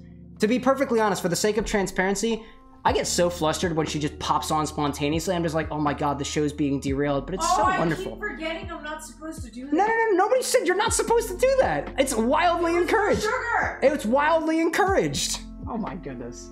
I mean, it's not being derailed. There is no derailment here. This is like the last hurrah. We should derail. We love it when Anna's Oh, here. cool. I want another sugar stick. I can't provide that for you right now. Would you like some Campari? Ew. Ew. We're gonna add a half an ounce of Campari as Anna flops her stick all over my face for just a brief moment here. It's beautiful and I love it very much. Please, harder, mommy. No. Oh yeah, see, that's what gets her to stop. I added too much Campari! Do I just stick this in the garbage? You can stick it wherever you want to, my love. Oh. Half an ounce. or about 50 milliliters of Campari. I realize that I should be adding the egg white first so I don't potentially screw things up over here. So let's do that next. And if I really had to sacrifice the Campari, that, that's just how it be. I'm gonna grab my little yoker over here. My little yoker. Here we go. I'm gonna grab this guy. Can we see that? We can absolutely see that. Great. There's a chair in front of my screen over here, so. Welcome to the party, friend. I can't see who that friend is. Hold on. Garrett Matthews has popped in with a little bit of folly here. Welcome, Garrett. We're, oh, it's always a pleasure to have new people here. Now, unfortunately, I won't be back here next week or any foreseeable time afterwards, but you came in at the perfect time. Hopefully, I don't screw up putting this egg white in here. Don't ruin it. Don't ruin it. Oh no. Oh no. Here. Oh, oh, there goes the yolk. Oh, almost. All right, I caught it. To the bucket.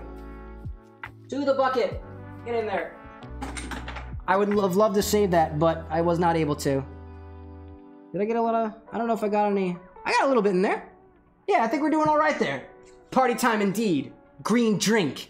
Insert other expletive here.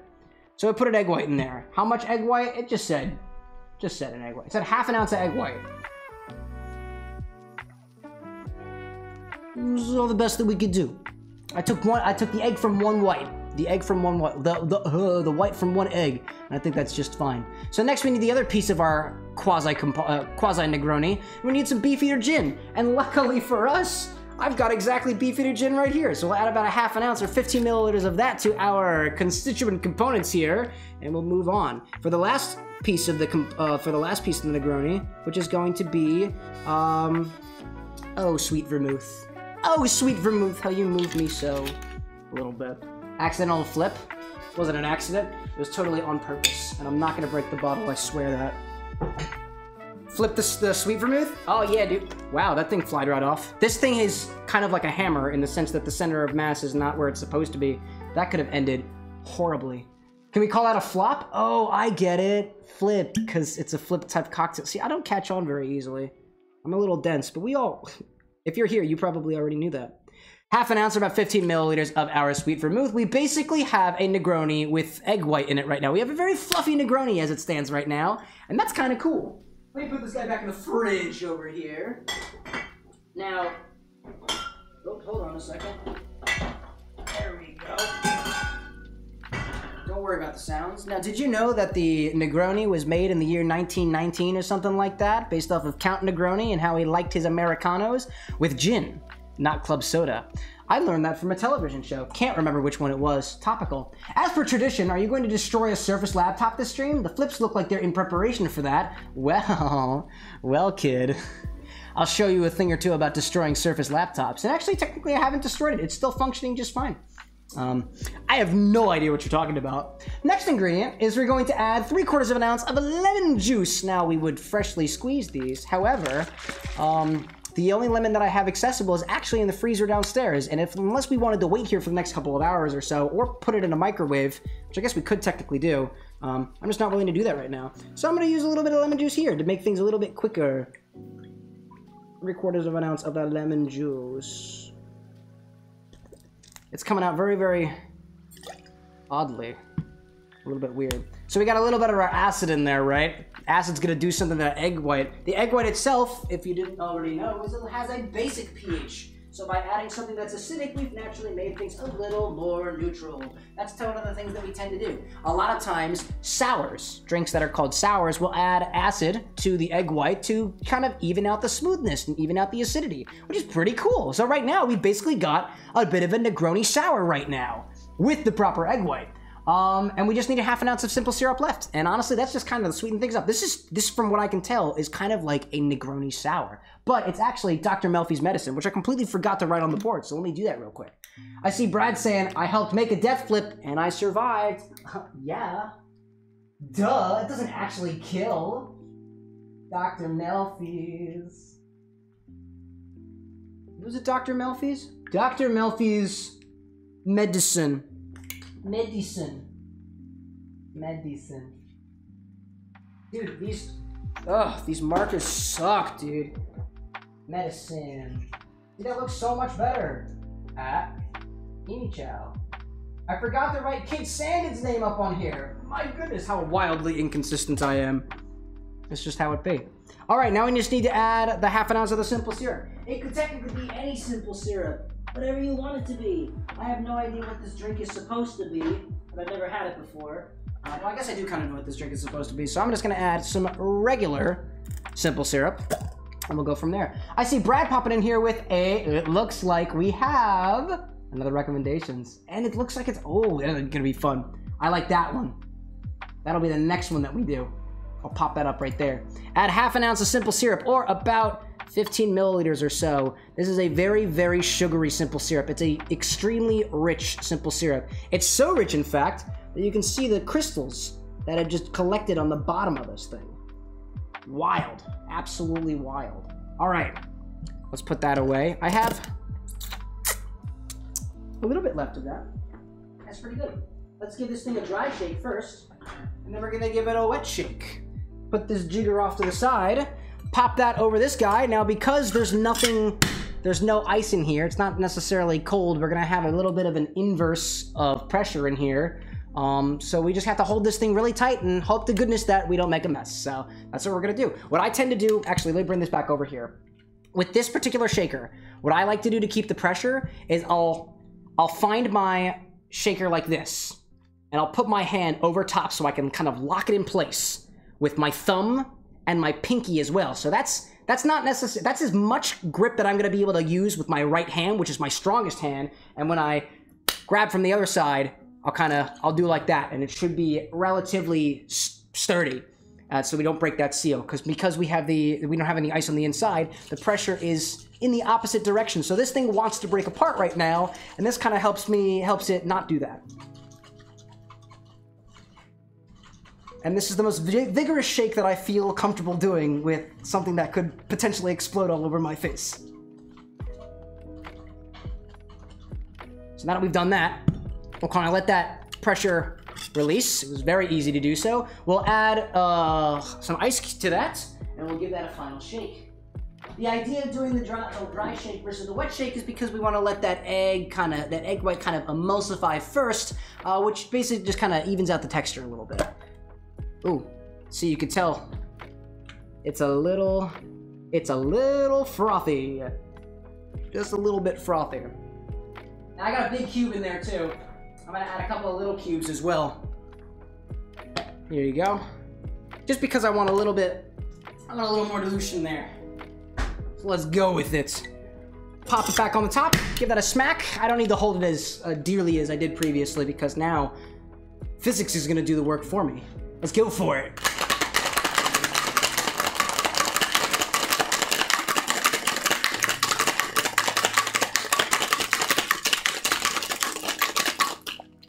Feels good, man.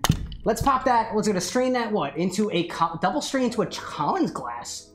Really? I think we want to put that into a little coupe glass, but the instructions say a Collins glass, uh, and that's gonna be pretty tall. Actually, let me do one of my smaller glasses here. I think I think this is gonna work out rather well.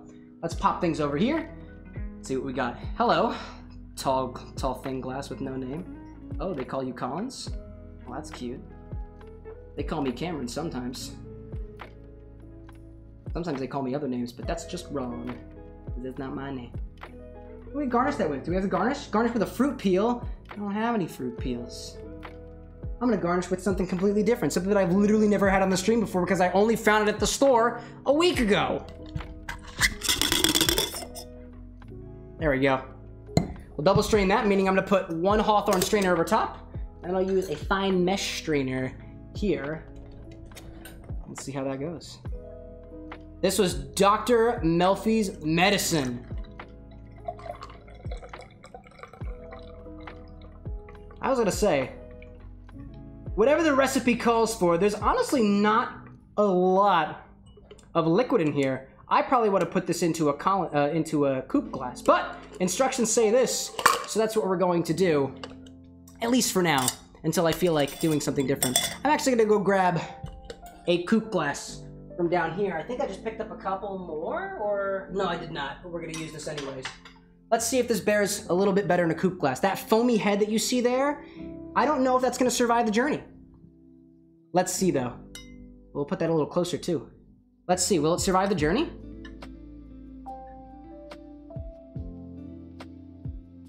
Oh, that is so pretty looking. Oh, you gotta see that from my angle. Take a look at this. A little bit from the top. I love that. It had a really cool swirl action going on there. Let me see, just a little bit more. Just a little bit more. Because I don't actually have the orange peel or any sort of citrus peel, I'm gonna do something a little bit different. I'm gonna do something that I honestly probably could have done in the past, but haven't done before. Because I miss y'all very I'm gonna miss y'all very much. We're gonna add, instead of a fruit peel, oh wait, we have the celery bitters, right? We have the celery bitters. I almost forgot. I almost forgotten. Let's take the celery bitters. We're gonna put it right up on top. And I'm not sure exactly if that's going to produce a very noticeable color, but if it does, we're gonna do something cool with it. Let's add a dash, a dash. Whoa, wow, look at that. Wow. That is totally doing something. Let me make that angle a little more, a little more cool. There we go. Now we can see stuff happening there. Ooh. Has such a nice smell to it. Now what I'm gonna do is I'm gonna grab a toothpick. Try not to stab myself on one of them. There we go. And I'm just merely gonna, I don't know if this is gonna work out super well with the celery bitters, but we're gonna try. Just gonna try to draw a little bit with it. Maybe we can make a little X. Let's make it a little more spiky. Something that reminds us of medicine, right? I'm not much of an artist when it comes to latte foam art. Let's do something like that. we tried our bestest over here. And that's all we can really ask for. When we're all learning, we're all learning together. Now let's do the other piece that I'm just really excited to try.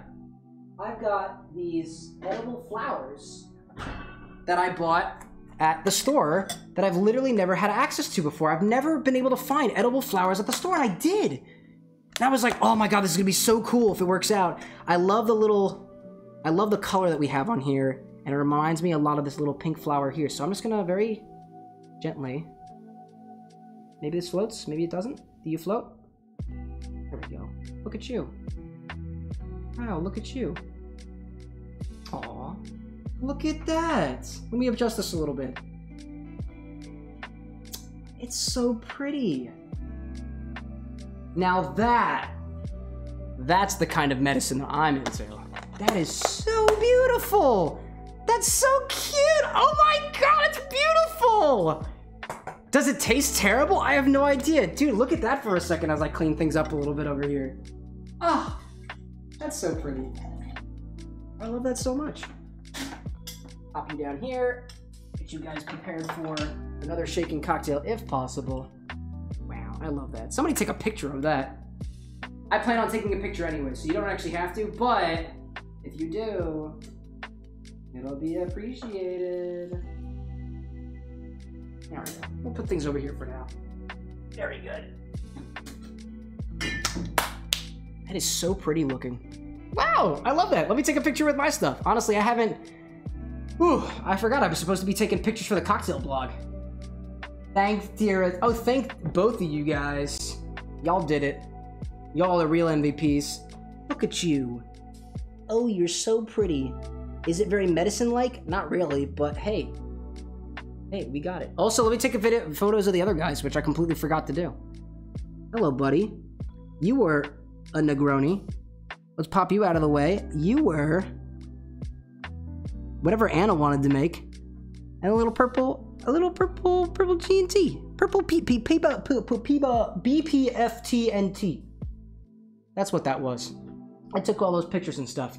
Now, another question you may have with the with the whole hiatus coming up is, what about the cocktail blog? Like, what's going to happen to the cocktail blog? Honestly, I'm not so sure what happens with the cocktail blog. I think the cocktail blog is going to become something a little bit different. Instead of being a kind of recollection of what we covered on stream before, it's going to be a recollection of like whatever my most recent like advances in cocktail mixology is going to be. So one of the things that I hope to try to do is dive deeper into some of the concepts that I was only able to very briefly explore at the bar with an X at its current level here. Things like fat washing, things like flips, Things like potentially like molecular gastronomy or fancy other words that pop into the future. Some of the tools that I never actually got to use. I have a cocktail smoking kit that I never actually used during these shows. But these are some things that I really want to dive deeply into, perhaps in the time that I make where with other stuff of content and stuff that pops up. So what'll likely happen is if I explore a certain concept and stuff and be able to make a couple of videos and stuff about it, I'll probably pop into the cocktail blog with a bit of a summary, just like I had been doing previously, and links to some of the videos that actually explore that concept because it's not like there was a stream that you can go back and watch to be able to reference that type of content. Again, like the kind of idea here is honestly, this little community area we have here is so lovely. And I love the little like kind of cohort that we develop here, but I want I want so much more out of it, right? And there's, there's I feel like there's nothing wrong with always wanting to let a little bit more to want to grow to the next level or so. And this little thing that we got here is awesome. And I like to keep like I feel like instead of it being like a, a television show that got reboot after reboot after reboot after reboot and just never had a chance to quote unquote die. We're not killing things off here. It's not what I'm trying to apply. But the next level will be something a little bit different. And for that, this little this little like blip in time that we have here, I want to be able to preserve in the way that we are now. But in any case, Dr. Melfi's medicine. It looks so damn cute, but what does it taste like? Ooh, those celery bitters right off the nose. It's not this. It's not the flower. I swear, it's not the flower. But the the celery notes there actually do kind of make it smell like medicine a little bit. There is a piece of this that smells like um um there is a oh, hold on. There's like I want to say there was bug spray that I put on my body during a camping trip one year that smelled almost exactly the way that this smells now. It smells like it's almost citronella like. It smells like like like uh, not poison sumac, but like something to treat poison ivy. Neosporin or something like that. I don't remember exactly. DEET maybe. I don't even know. Like it, that's got that sort of like a keep the bugs away from me type smell to it in a chemical kind of way. But it's not like unpleasant. Like it's good in a way. I see Imichao popping in and saying, We love you and please take care of yourself and take your time. The celery was me trying to make up for not having aquafaba. I'm sorry. No, this is perfect. This is exactly what we wanted. It's chat's choice. It's the celebration of all of us together in this little community while we still have it available to us. And that's great. So listen to me and don't run away. This drink tastes like DEET. DT. DT? DT? Yeah, don't run away from here. We haven't even tasted it yet. Come on, just stick around for the ending.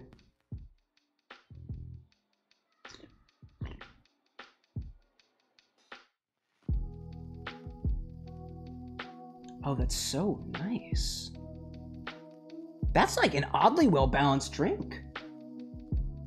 That's like an oddly bad. That's really good. So I love the bittersweet component of a Negroni. And I, I was always sure. Actually, I had an entire stream potentially planned of all different variants on a Negroni. I just couldn't get my hands on enough infused Campari, and it would have completely broken the bank. But this is like it's a it's a sour, dry Negroni. It's like a dry Negroni sour. It's a Negroni sour. That's what that is. But it's a little, it's a little extra. Mmm. It's a little extra. Mmm. Let me try to pin down exactly what that extra mmm was.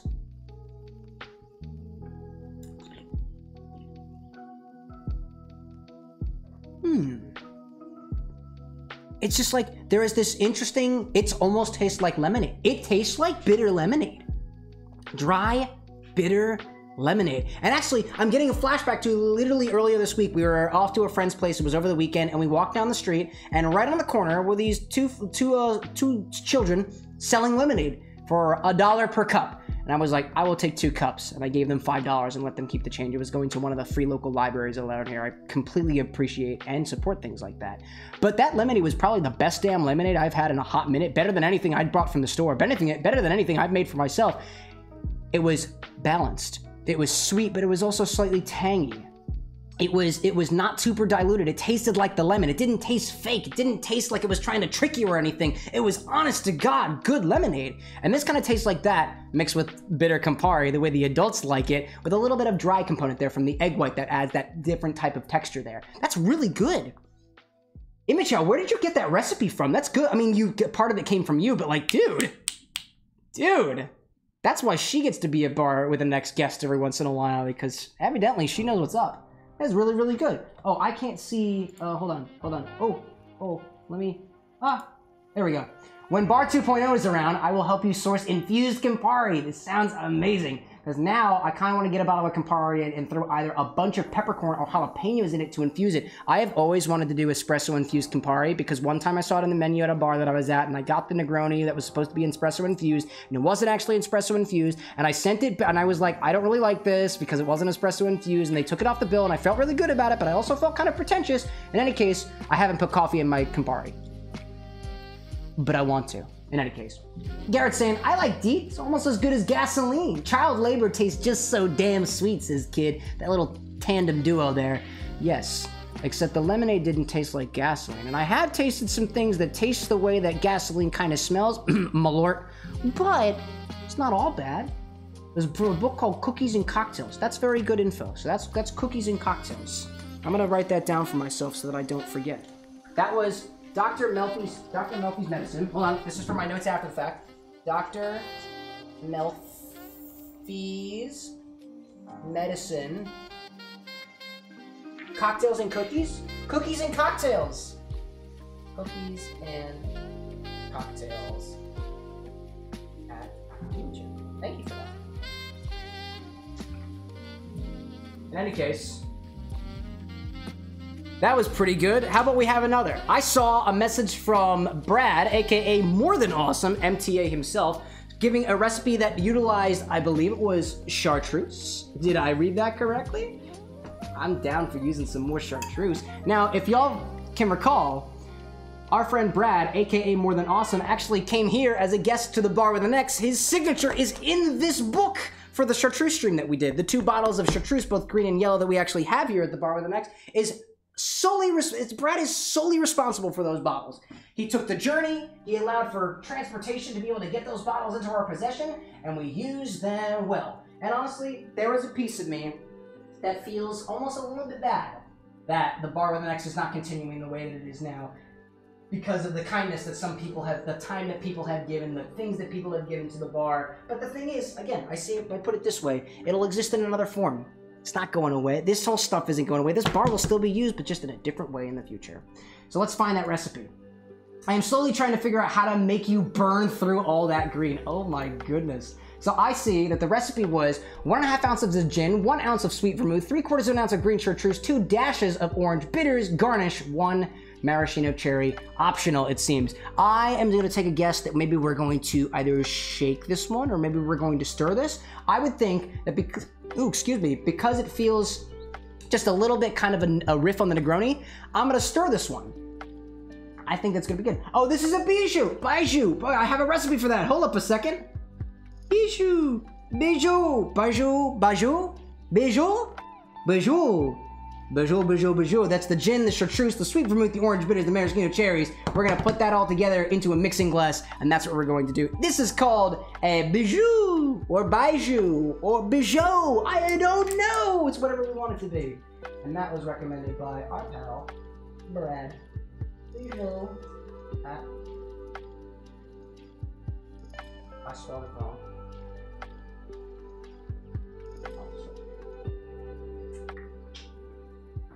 Let's get on with it, dog. Bijou, bijou, bijou. I will brunch this drink if I am feeling fancy. Bijou. I think, maybe. I'll bijou, bijou. I'll take it. Let's grab ourselves a mixing apparatus. I have one over here. We're gonna grab ourselves a big old cube and such, plop that into our mixing glass, and see what happens afterwards. I assure you, it's not quite magic. It is just science in drinkable form. You can also smell it, you can taste it, you can do whatever you want with this, really. You can technically absorb alcohol in certain orifices of your body. We're not gonna that's a that's a topic for another day's adventure. Not this one. I don't think Twitch is TOS allow for stuff like that. Let's bring the cocktail angle over so we can actually see what's going on over here. Hello, buddy. Hello, buddy. Let's watch as this thing gets made. All right, let's go for it. So what we're gonna need in our glass is one and a half ounces of gin. What kind of gin are we thinking about here? Honestly, we're feeling fancy, right? We're feeling fancy. I'm feeling fancy. One of the problems that I have is hoarding, and I hoard bottles that I have a weird attachment to. So we're gonna go with the botanist gin here. I have an attachment to this bottle because it was a gift, and I know that it's expensive, and I know that green chartreuse is also getting uh, expensive in this day and age. So we're just gonna go with it. that feels like a bar with an X 3.0 idea. Yeah, where we're shoving alcohol up our anuses. Wild. That's when the bar with an X becomes the bar with three X's. In any case, let's take one and a half ounces of this gin of ours, which I'm sure I have enough of. Oh, actually, that is a very lemon juicy full uh, measuring majigger. Let's use this one instead. One and a half ounces of the good gin. The Botanist is an Islay dry gin. It is a dry gin from the Islay Islay, from I believe it's I think it's Scotland or Ireland. I need to remember. That's pretty much almost the entire thing there. Let's see. This is from Island of Islay. That's where it is. Scotland. That's the one. Let's see. How much do we have left in there? There's such a little bit. Actually, you know what? That'll be that'll be saved for me. That'll be saved for me in celebration, perhaps. One and a half ounces, or about 44 milliliters, of our Isle Isle Dry Gin, the botanist in this case. I love me some botanist. It's good stuff.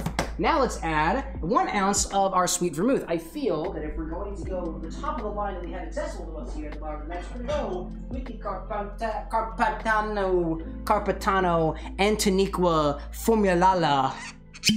Carpano Antica.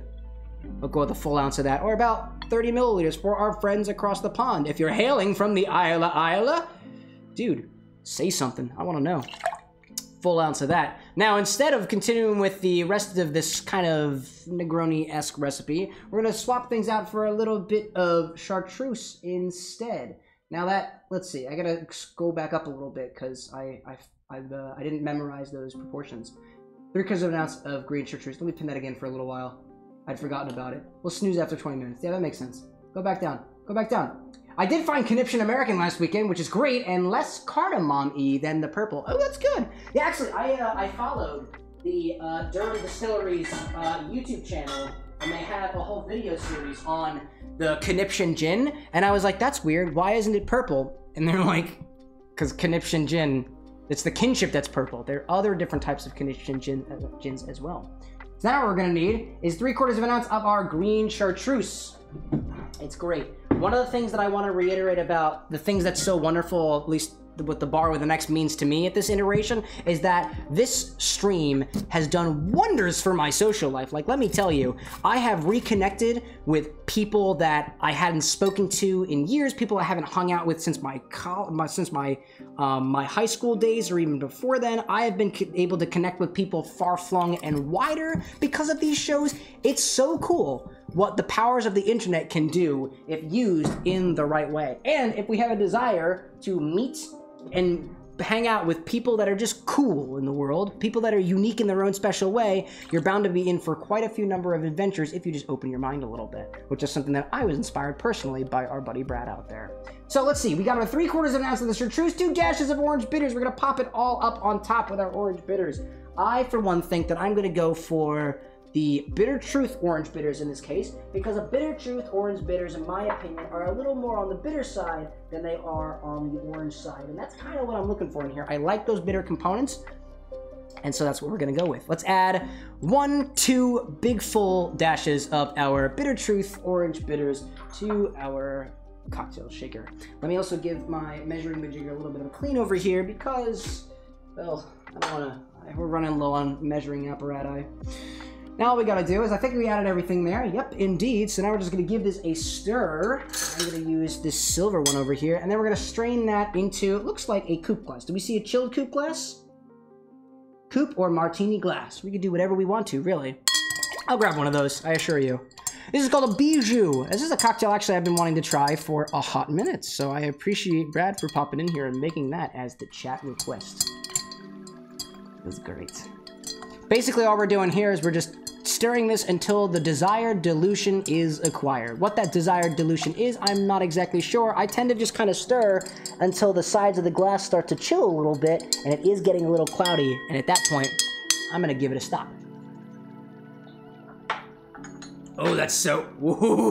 I can taste the green chartreuse. Let's grab a different coupe glass, shall we? How about we do this guy over here? Pop them on like this. And now what we're gonna do is we're gonna take a little julep strainer, which I actually left downstairs. I didn't have the julep strainer on me. That's okay. I have this bar spoon that I can use to prevent the ice from going anywhere. Let's just do that.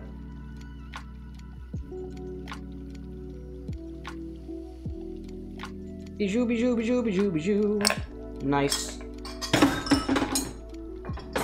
Now we'll grab ourselves if it says we can optionally add a maraschino cherry, then we might as well optionally add a maraschino cherry. I have these maraschino cherries that I got from a friend of mine, and that friend of mine uh, specifically made these maraschino cherries and put them in moonshine. So this is another contribution to the bar with an X from a couple of friends that we know from the better parts of Pennsylvania, and uh, Actually, we visited them the other day. We're greatly appreciated for them in our lives. It's very, very, it's alcoholic. Actually, let me. Oh yeah, those are damn good maraschino cherries. Let's pop you in there with just, just the slightest bit of that juice to float, or rather, sink to the bottom. I have pretty much decided that Gen it says more than awesome that Genevieve Genepi is my new green since I almost can't find anything else anywhere else. But I have a heavy pour of the Genepi. It was interesting. I was just watching a video the other day where somebody did it was a chartreuse type drink, but they used a different one. I think it was something something Brutto. Something Brutto, I believe, was the brand of green botanical liqueur that they used in the drink that they were making. Um, there's just so many different substitutes for uh, for chartreuse out there, and I have not tried any of them, but maybe one day I will. So this is our bijou, our bijou. Now that I that technically that that maraschino cherry could be on a cocktail skewer. Do I have anything worth skewering with? I definitely do at some point. Where are we? What's a what's a, an accessible skewer? Here's an accessible skewer. I only have like one good skewer. Come here, you. It's from Maggiano's here in Philadelphia. There we go. I stabbed it. I stabbed it good. All right, get back out of here. Let's take that pinned comment and put it away. I can unpin that message. There we go. Faccia Brutto. Faccia Brutto. That's the one. I also, we don't have that here because ABC state. I also like that this is a gin heavy stream. So far it is. Well, that's what, what the people want, the people will receive. And uh, that's just kind of the thing today. Also that, that, uh, that cherry wants to float to the top. Get out of here, cocktail angle. Let me take a picture of this butte. I'm gonna try to like, uh, frame it in such a way. I'm kind of cheating over here. Here's our bijou. Bijou, bijou, bijou, bijou, bijou, bijou, bijou, bijou, bijou. Bijou, bijou, bijou. Now, naturally, these photos here, although they might be a little delayed because of this whole hiatus thing that I'm holding myself to, they will eventually be, go to the cocktail blog eventually. I can assure you of that. This chat's choice will live forever on that Discord server that we love so much. This smells so heavily of the chartreuse, and I'm, I'm loving it. I'm really, really loving it here.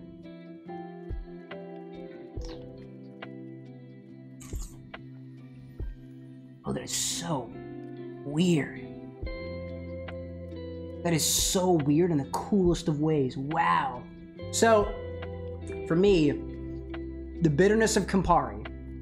Got a oh not Campari. What am I talking about? This is not Campari. It's the sweet vermouth that I'm getting. I was getting that confused with the whole uh ver, um what do you call it? It's called a Negroni. You should have known this.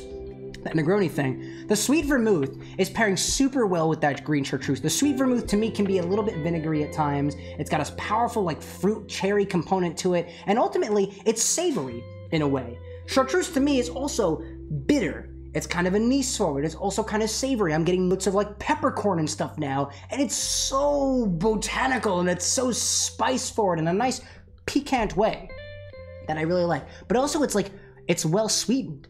It's it's sweet in the way that the Negroni is sweet. Like if you're if you're not a big cocktail person, then this probably doesn't taste very sweet to you. But if you're into like very short drinks, this does have a very sweet component to it. My palate has actually completely transformed from here versus a year or even two years ago before I could even like sip whiskey out of the sip whiskey out of the glass or sip whiskey out of the bottle, which I'm trying to get a better feel for as my palate grows and expands and I can identify the flavors that lie beneath the drinks that everyone so know and loves today. And uh, I'm definitely getting a little more egotistical in the process. It's nice to be able to say, that's not the way I make my Manhattans.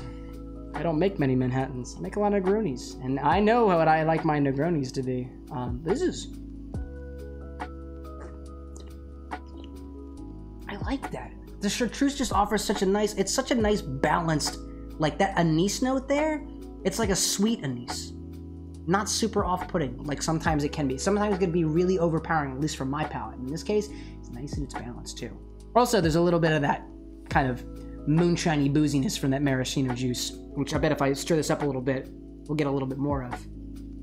Brad says, it's a real fun Negroni rift, and that's why I drink Cynar Negronis, because you can absolutely find Cynar here. Also, a lot of boca- botanicals is enhanced by the Botanist, which the Botanist gin is a very botanical botanist, very botanical gin, as opposed to, let's say, like a Beefeater. I think it's still a dry, so it still kind of occupies that similar category, but I believe there's, there was a certain number of, maybe it says it on the bottle, different botanicals that go into the Islay Dry in this case. 22 foraged island botanicals distilled from 100% grain neutral spirit. So there's 22 of them in there. I don't know how many exist in other gins out there. This just adds that extra complexity to it we know and love. It's why yellow, oh, a lot of the botanicals hands, but the botanist also green and Antica are kind of sweet. It's why yellow is all sugar to me, to Brad that is. Next time you're here, we'll crawl all the ABC stores to find the Cynar bottles. That's the thing, I think Cynar is available here because I have seen Cynar in bars around Philadelphia. I just couldn't seem to find it in my liquor store. Maybe it's because people are aware that it goes really, really well in certain drinks. I think what what's the drink that Cynar is really known for going into? There's one in particular that I tried to make a while ago and I just couldn't find. I can't remember what it was. I would like Cynar. That's the artichoke one. I'm sure I would. It's a little more sweet now, actually, with that um, with that cherry that I just mixed around in it. That's good. Mmm. it's excellently boozy. Oh my god. I love that cherry. Thank you, Annie and Lil Abe, for those cherries. An excellent contribution. And thank you to Brad for the green chartreuse. Let's see, who else has also given things? Imichao has brought a number of spirits and a lot of fun to the stream. My bro Lycos Lore, who also produces content, has popped on the stream multiple times. I remember fondly the Mocktail stream. My dearest, the Disney Queen, who's popped on here multiple times as well, and who remains to be a very, very positive and encouraging force in my life, who I, who I would not trade for literally anybody else. It's absolutely delightful.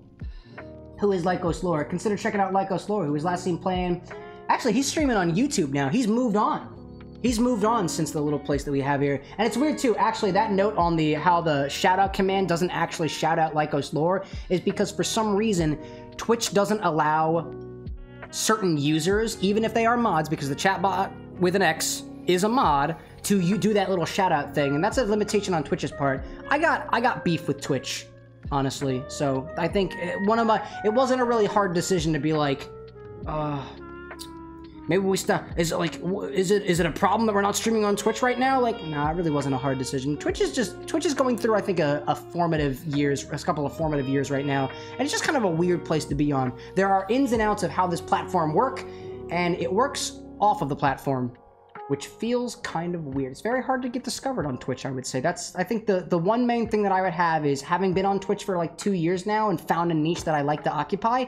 It's really difficult to find an audience. It's kind of kind of weird.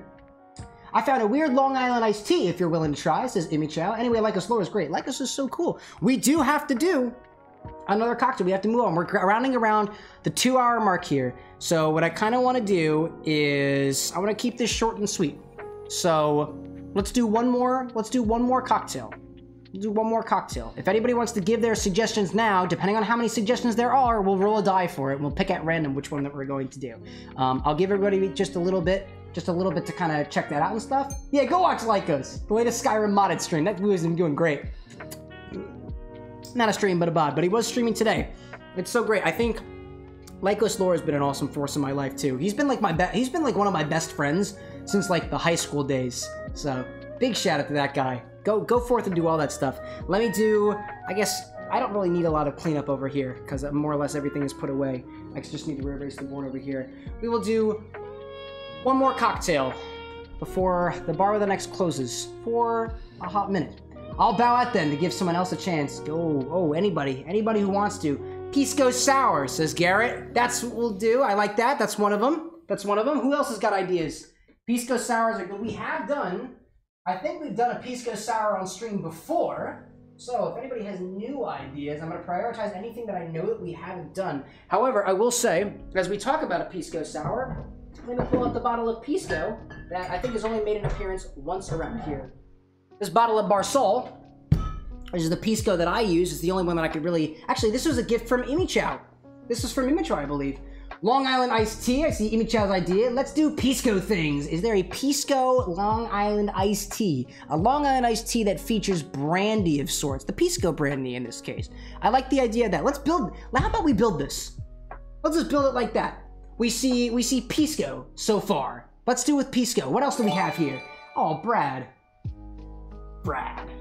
Lifting out the, the sub to Garrett. That's what you get. That's what you get for contributing, Garrett. Good for you, sir. Good for you. And also, Brad's just a really generous guy. So let's see. Let's let's do something fun. Chat's gonna choose the entire drink itself, right? So we have Pisco so far. What should we add to the Pisco? I heard Pisco Sour. I'm inclined we could add a little bit of lemon juice in there. I saw Long Island iced tea. Long Island iced tea has a shit ton of other components to it, including but not limited to, you got your tequila in there, you got your gin in there, you got your other stuff in there, whatever you have. Long Island iced teas are just wild, you know? Just wild in their own very, very special way. So what other ingredients do we have? It seems to be a very gin heavy stream so far, so I'm just gonna put out there that there's gonna be no gin in this one. No gin at all. Just our pisco. Our Barsol, Barsol Pisco. In the meantime, I'll pull up my own recipe book over here and see what we have pisco wise. I do have a number of recipes for pisco around here somewhere. There's a pisco sour, the chilcano, the cocktail algeric circa 1960 apparently, and the fairy flower from one of my books around here. Oh man, I don't like that there's a pisco. There's a pisco bijou? No way. I don't like that. Don't like that one. Let's see. Some of the ones that I'm getting over here is I see one, something called a chilcano, which uses pisco, lime juice, angostura, and ginger ale. I see it's a Peruvian, a pisco. The hive uses Barsol, Mostoverde Italia, one ounce of yellow chartreuse, Lillet Blanc, and an orange peel. I don't have any Lillet Blanc, unfortunately. We could sub that out, for example, with something else. I, I remember we could use like a, a dry vermouth in place of the Lillet Blanc. It's not quite the same. It occupies a slightly different like kind of area. Lillet Blanc, I believe, is also a type of kind of specialized wine that you would use, almost like a vermouth, for example. Not quite a Blanco vermouth, something a little bit different. But I do kind of like that idea. A Peruvian. It allows us to use that chartreuse. It allows us to use that pisco. A little bit of that orange peel. I don't have the orange peel, so we're just going to sub some orange bitters in there. You know what? We're going to make it work. That's what we're going to do. We're going to do a modified Peruvian, unless anybody has other ideas. This is your last chance. Peruvian.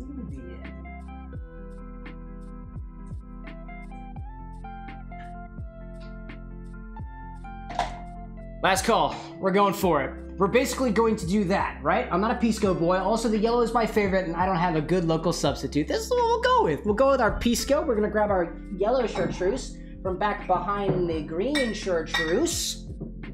And then, what else we got there? We'll pin that comment. We gotta get our Lillet, Lillet Blanc. It's a simple one. I like that. It's gonna be nice. It's gonna be very nice indeed. Pisco, yellow chartreuse, Lillet Blanc. Look how much yellow has. Dude, there's so much of the yellow. Relatively speaking. Relatively speaking. Let me grab my orange bitters. I guess we'll go with an Angostura this time. Just to kind of... I think the... I, I would think that the... Or the Angostura orange bitters is more akin to the orange peel than the Bitter Truth orange bitters are. I think this is a little more sweet than the Bitter Truth orange bitters. The Bitter Truth orange bitters actually, I think, provided another oomph to the bitter components of this... Ooh, what was this thing called? Bijou. No.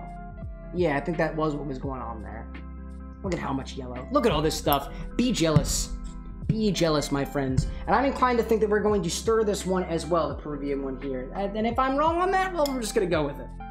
Let me clean out my mixing glass. I had two mixing glasses and apparently forgot to do the dishes, so here we are.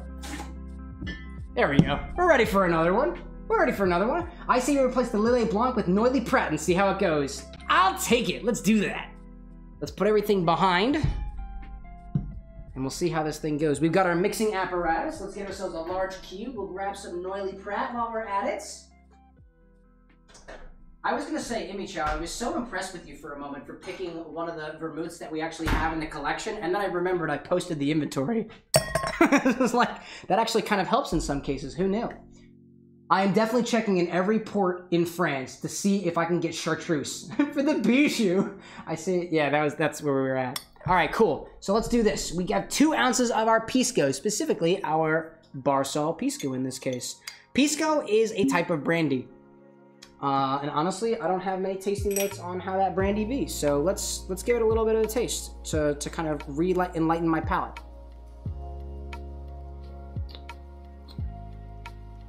Ooh. It reminds me. Okay, so if anybody's ever had Kirschwasser before, Kirschwasser is kind of like an alcoholic, like a very, like a diluted alcoholic cherry pit. I would say that the Pisco, on the other hand, kind of tastes very, very similar, but it's more like a table grape. Almost like a, not, not quite a Concord like Welch's grape, but more like one of those green grapes that you get around like, I don't know, the store, I suppose. We're gonna add two full ounces, or about 59 milliliters of our Barsol Pisco to our mixing glass as the base for this drink. Next, we're going to add, oh, what was next? He looks up at the screen up there. a full ounce of our yellow chartreuse. Our yellow chartreuse is making an appearance over here, and everybody's jealous about it. I'll take it. I can only be so much of a bully with my power, says More Than Awesome. Image says, Yeah, did I tell you I went to four liquor stores looking for Pisco? I remember that. I remember that. You were, I remember that was for, I think it was the, I think it was for the Fizzes and Flip stream, which Imichao was a part of, and it was specifically to try to find the Pisco. I was like, if you can find Pisco, that would be so cool. Don't strain yourself for it. And this woman went the extra mile to all those different liquor stores to bring that beautiful Pisco to us. And it is the only bottle we have, and we will cherish it for as long as we live. And I hope that there's more Pisco stuff that we can explore in the future. I'll just add a little reminder out there that for everybody who's here currently, uh, and who may have missed the memo. So the bar with an X is the, the so the the suggest command, the little exclamation point there, will actually send a message directly to my Discord, like my personal messages, to make sure that I know what request that you're putting in. It will not be covered during this stream, but it may be covered in a video or something in the future. It gives me ideas for what the people want to see, and so you can use that now while the live stream is happening. But while the live stream is not happening, that command is not going to work. So instead, there's a suggestions channel on the Discord which you can put things in. You can also reach me on Instagram via DMs. You can reach me on TikTok via DMs. You can reach me on Discord via DMs. I want to be as open as possible to be able to continue making this type of content and to be able to explore the craft mixology world. So with that in, in mind, there is an open door policy as it pertains to cocktails and stuff. Literally message me about whatever you want to. I don't even care. It doesn't even have to be mixology. I have a friend of mine who we talk, I, actually Dark Techie, I don't know if he's still around, but we we talk about Ender um, uh, printing on the Ender, Ender printers and stuff. It's a it's a fun little time. Now we also need a quarter of an ounce of our Lillet Blanc. It's not really our Lillet Blanc. We're to use the Noilly Prat instead. In this case, we're to do a little bit of a substitution there because I don't have any Lillet Blanc. Excuse me. Image has a total goat. Uh, duh. Also, Brad says I checked both bottles when I landed in Philly, and if one got broken, I was gonna be like, oops, sorry, forgot to empty my water bottle, so TSA wouldn't let me fly. I love how you had, you had, um, let's see, you had a script to save face, just in case, just in case. That's okay. I believe you. You're a trustworthy guy. I mean, I know that. I know that you're a trustworthy guy now. Let's say a couple months after meeting you for the first time and spending uh, a portion of my life uh, with you in my abode. So that actually makes kind of sense. I did have an exit strategy. We gotta have an exit strategy. Cocktail strand based on the giant. The giant? Or would have been oh, a cocktail strand based on the giant. I see. I see what you mean there. This is a beautifully green cocktail. Nice. All right, so that's all we have in here. And it says we're supposed to do a little orange peel on that too. I think that probably gets expressed over the top, not into the actual mixing glass. So let's go for it. Let's use the mighty trident to mix this guy up. And there's definitely another version of a coupe glass around here somewhere. We'll give that a little bit of a stir until it seems to be getting chilled. Move. You guys are super cool too, says Imichao. Uh, duh. Right back at you, girl. Right back at you. This looks nice and chilled. I'm feeling very good about it. I'm feeling rather warm usually all the time. I'm a very warm boy. Just kidding. I feel cold all the time. I don't even know why I lied to you guys. I totally We'll definitely fly back up for the reopening of the bar with an X in a few months. For sure. It'll be a grand reopening. Uh, one of the things actually, or just to, like to crash a TikTok. Actually, so one of the things that I wanna um, that I wanna share is another thing that I'm doing on the Discord now is I opened up a content creation channel. And so, actually, we're gonna put this in a chilled glass. Let me go into my freezer. There's one chilled glass in there. Here we go, here we go, here, here we go again. It's not broken glass either. Hold on there, doggy. So one of the, uh, the channels that I've opened up in the Discord server is a content creation channel. One of the things that I want to commit myself to is to do a bit of research of exactly what makes certain types of content tick. If I'm trying to grow, then naturally we need a strategy in order to get to that point. And so I have been watching a lot of videos about entrepreneurship and leads and marketing and stuff that are to kind of prepare me for planning out the next co- the content strategy that is going to remain sustainable. And I want to be really really open with that for all of y'all. So if you guys are content creators and this is something that you think that you might benefit of, I want to encourage you to join the Discord server and join the conversation. A lot of this stuff is more or less untested, but will be tested throughout the next couple of weeks or so as I continue to get this content strategy on board, and I want everybody to be a part of it. Honestly, it doesn't really mean much to me if it was all just my own creation. If we can benefit other people as well and bring all the success along with everybody else, That's what's kind of important to me. So feel free to join the conversation. Offer your own resources. Take a look at what we've been cooking up and stuff and what we will be cooking up in the future if you'd like to be a part of it. I assure you, stick with us, stick with the X, and you'll go far. Um, take that as you will. Anyway, we have our thing here, and we're gonna add a couple bits of those orange bitters right on top, just a little bit of it. Yeah, that was a, that was enough. All we needed was one. That's all we need is one. What a cute little cocktail there. Let me pop the angle back over here, and I'm just gonna, I don't know. I don't usually put the bottles in the background, but that's that's what we'll do. Put the bottles in the background. The lighting is sh very shitty for this, but I have a cocktail nonetheless. What a nice little guy. All right, sweet, sweet. It does kind of look like an Alaska. It does have that yellow characteristic to it. And the Alaska, ooh, the Alaska's good. Dude, dude, after after the chartreuse stream, after we made our own Alaska, I went back and I made another one for myself because I uh, I had described it originally as bolstering whatever gin you put inside of it, and I stand by that statement. Like uh, an Alaska is essentially yellow chartreuse in gin, and it just makes the gin taste sweeter, better, almost candy-like. It's beautiful. It's a beautiful cocktail. It's great. It's delicious. And I love it very much. And I thank people for sharing that, obviously. Okay. It is the sweet part of a martini. It really is. So this is our...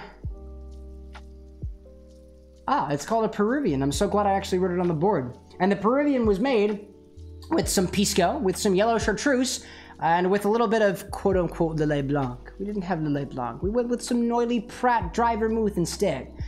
And this is what we're left with. I don't believe it is garnished with anything. I didn't see anything to garnish it with. I don't even think it needs it. Needs some DEET. Gotta make sure that the flies don't get to this one. It smells very, it smells very chartreusey on the nose, and chartreuse to me has a nose that is very similar to anise, kind of a, kind of um, a licoricey smell to it, and that's kind of what I'm getting. But it definitely smells like chartreuse, and it's got that look, it's got that yellow sheen to it that reminds you that there might be something chartreusey about it.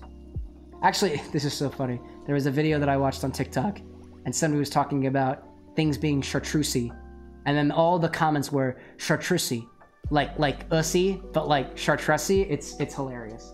Hello, Cammy C. Maddie says hi again. Hello there, Stell. Hello there, Stell M, or whatever you want to call yourselves. Welcome back to the last bar of the next stream for a hot minute.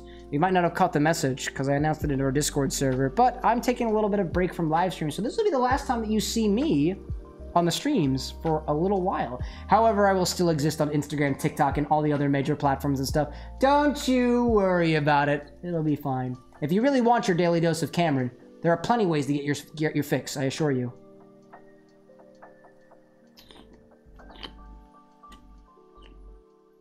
Oh, that is so interesting. That is really interesting. Okay, so the way that I described an Alaska, which is gin and yellow chartreuse, right? That kind of adds a sweet, anisey, bolstering characteristic to the gin, which often comes at an angle from botanicals and floral notes. I guess the Pisco, on the other hand, has a fruity component to it. It is basically a brandy. It's a grape brandy from, I believe, Peru. Yeah, Pisco is Peruvian, I believe. That's why this is called the Peruvian. I think that that's all starting to track now. So instead of bolstering the more floral herby characteristics of the aforementioned gin, it's bolstering the kind of sweet fruity characteristics of the grape notes that I'm getting here. And again, it's kind of like the if I were to describe the taste of the peel of a green grape, but without all the dryness, without all the tannins, that's kind of what I'm getting here. Except instead of it being like, let's say, the tartness of a green grape, it's kind of like the skin of a green grape, but with the sweetness of. I wouldn't even say a red grape. It's kind of like candy. I, would say it has some extra sweetness there, and I want to say it's kind of like a com- combination between like the green grape and the red grape, but it's really not red grapey at all. It's a different type of grape entirely. But it is sweet and it is kind of licoricey.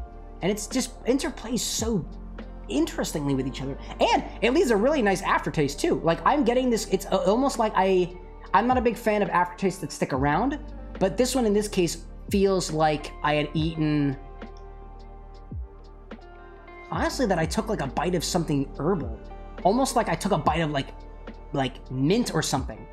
And that's the flavor that's sticking around, which is really, really nice. So it's even got that, that kind of not quite mentholy, but that minty, almost chocolate mint. Not chocolate like cocoa, but like chocolate mint. Chocolate mint is a specific type of mint. It's not spearmint, it's not peppermint, it's a different type of mint entirely.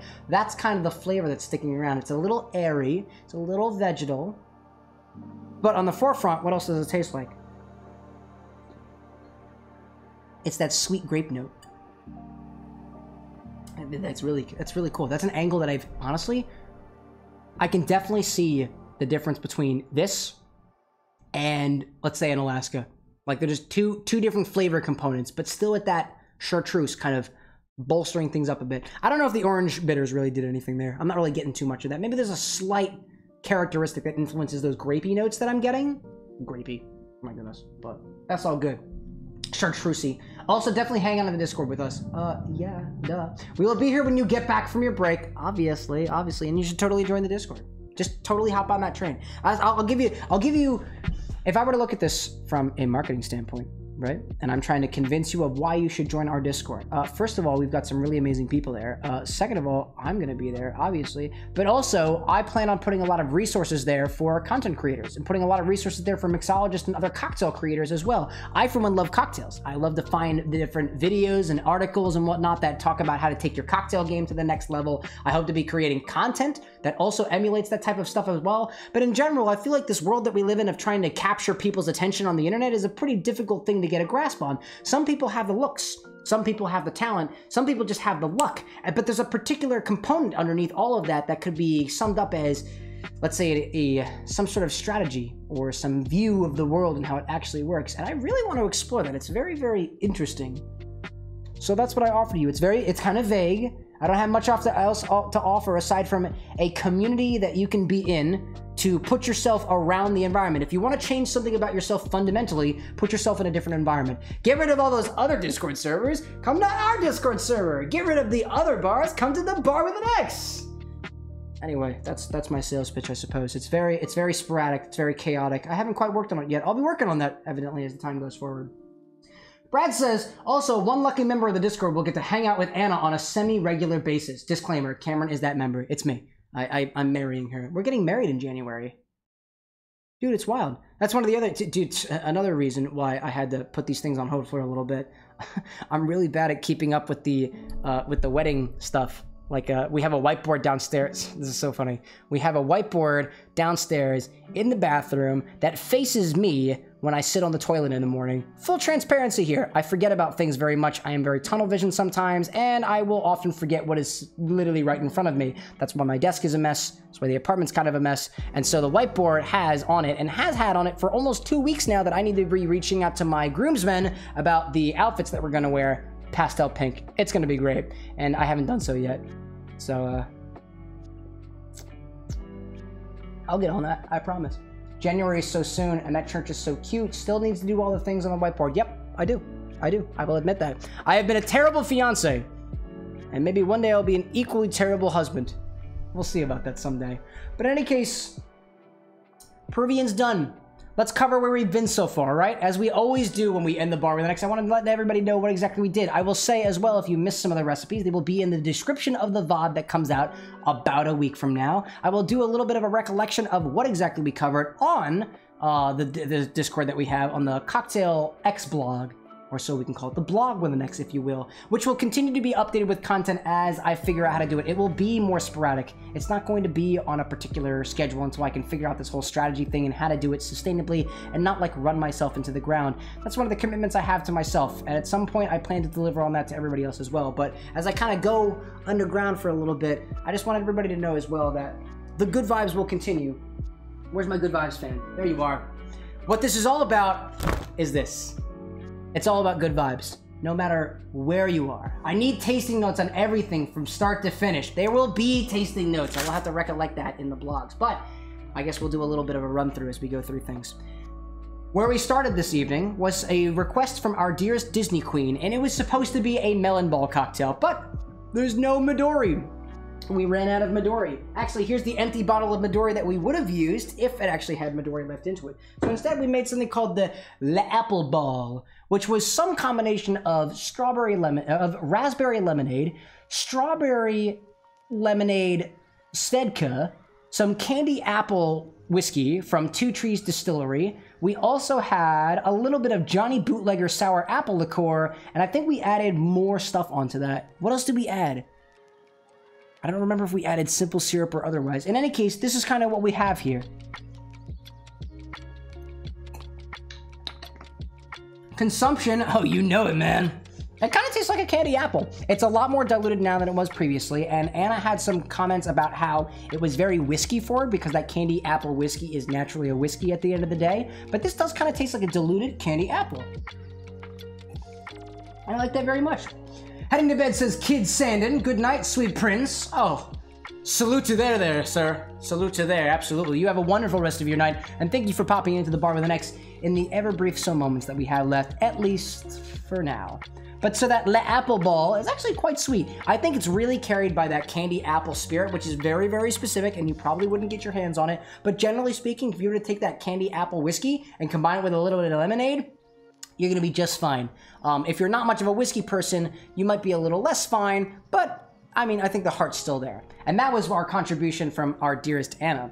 We moved on afterwards to a contribution that was sponsored in part by my youngest bro, BC Awesomest himself, who said, We want something purple. And I was like, Well, if you want something purple, we could always do with a gin and tonic because purple gins exist out there. Empress Gin is a really hot topic. Conniption Kinship Gin is also a purple gin that exists out there that was gifted us by our friend More Than Awesome.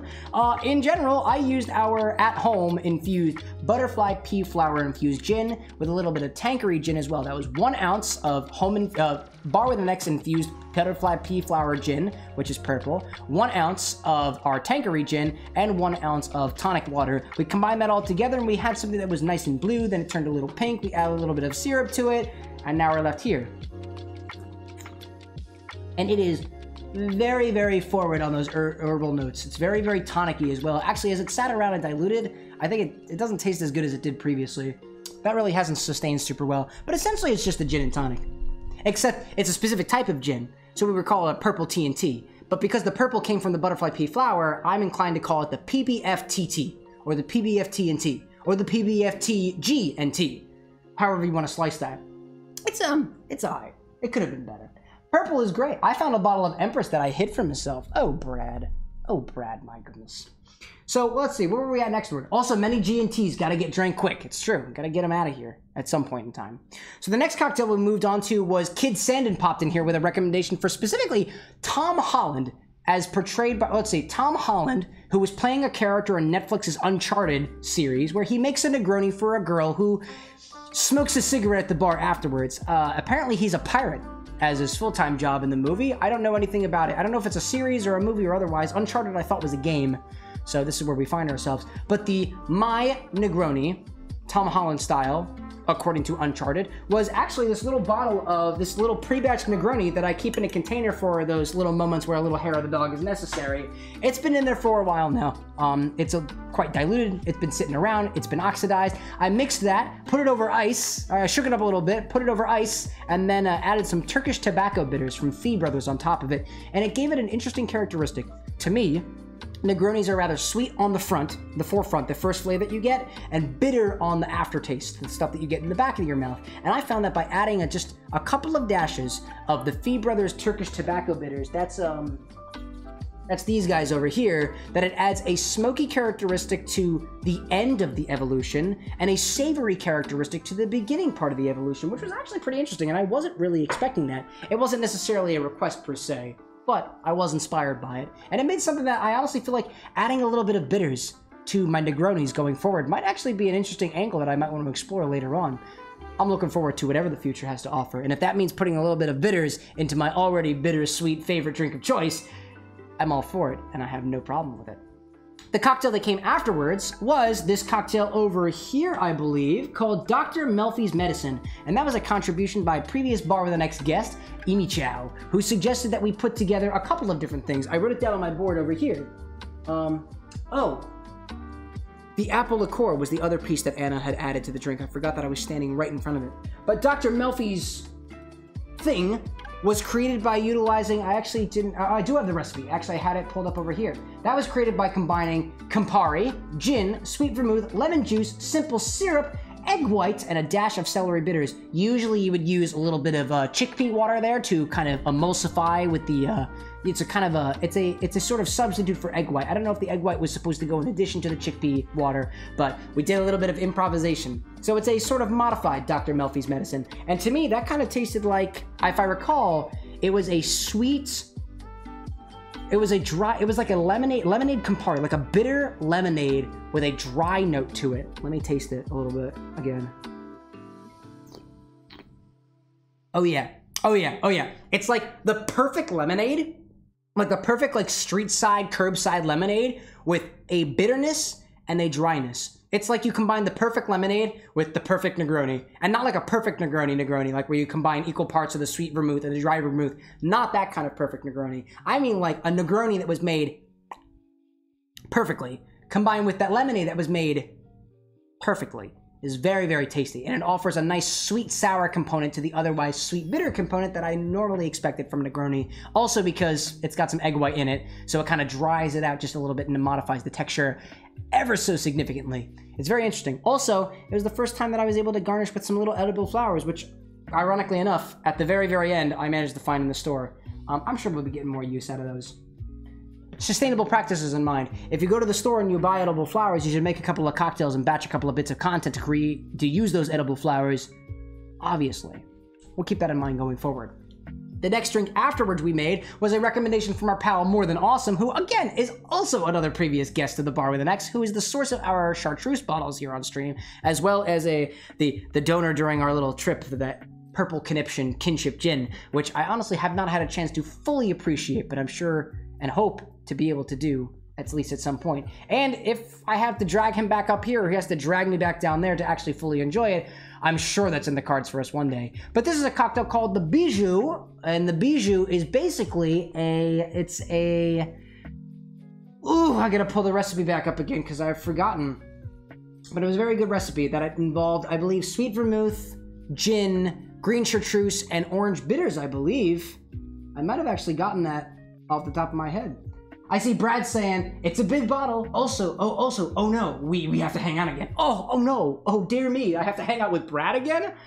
I'm very much going to enjoy it. I have absolutely no reservations for that future. It is great. That was it. It was the one and a half ounces of gin, one and a half one ounce of sweet vermouth, three quarters of an ounce of green chartreuse, two dashes of orange bitters, and you garnish that with a maraschino cherry. Thank you, my beautiful mud.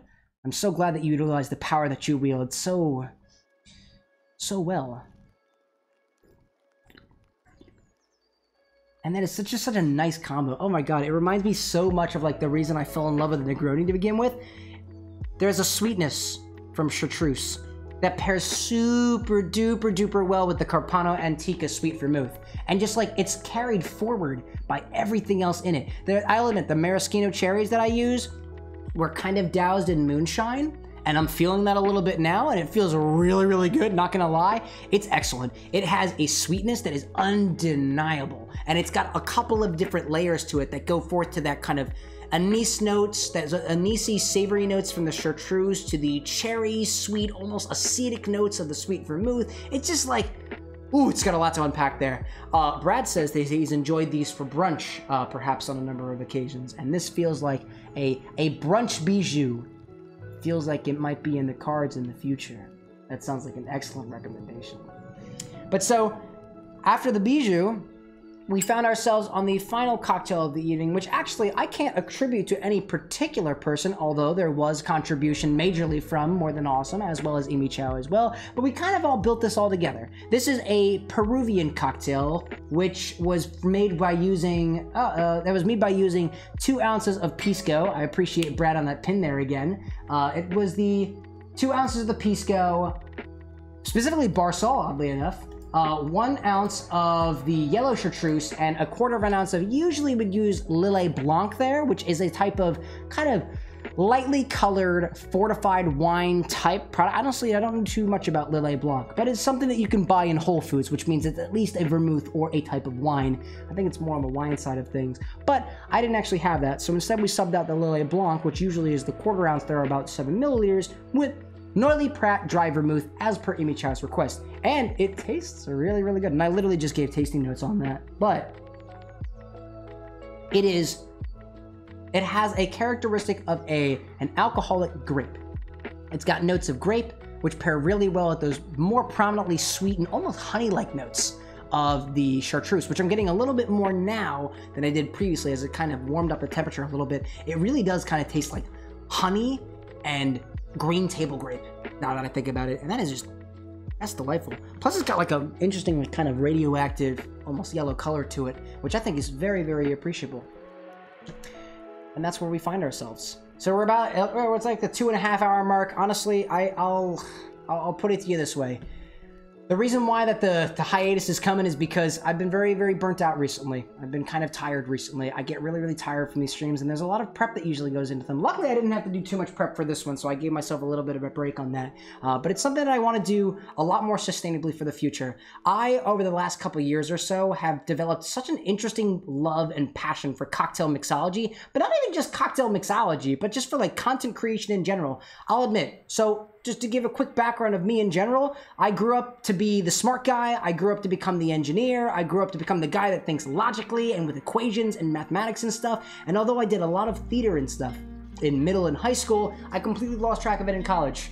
Didn't know how to kind of fill the hole in my heart that was left after kind of walking away from uh, theater and stuff. And when I found streaming based off of a friend of mine's recommendation, I was like, wow, this is so cool. I can meet new people, I can improv like multiple hours in a week. I loved it. Plus, it gave me the time and opportunity to give me the motivations that otherwise a previous version of Cameron did not have the motivation to do. I didn't want to play games, I didn't have the time for cocktail mixology, I couldn't develop my own personal motivation to do things, and honestly, was just generally unmotivated with the way that my life was going. I wound up getting a really, really awesome job shortly out of college, and I was around the time where I was about streaming for, let's say, a few months or so, and that perfect storm developed into me this really, really deep love for putting creativeness into the world. Sometimes, being in the position that I'm in, there's not a lot of room for creativity. Lot, sometimes it's very, very logical. It's very, very meticulous. It's very, very calculated. And this gives me a very awesome creative outlet to be able to share just generally things that I'm interested in with the world at large, which is something I want to continue to do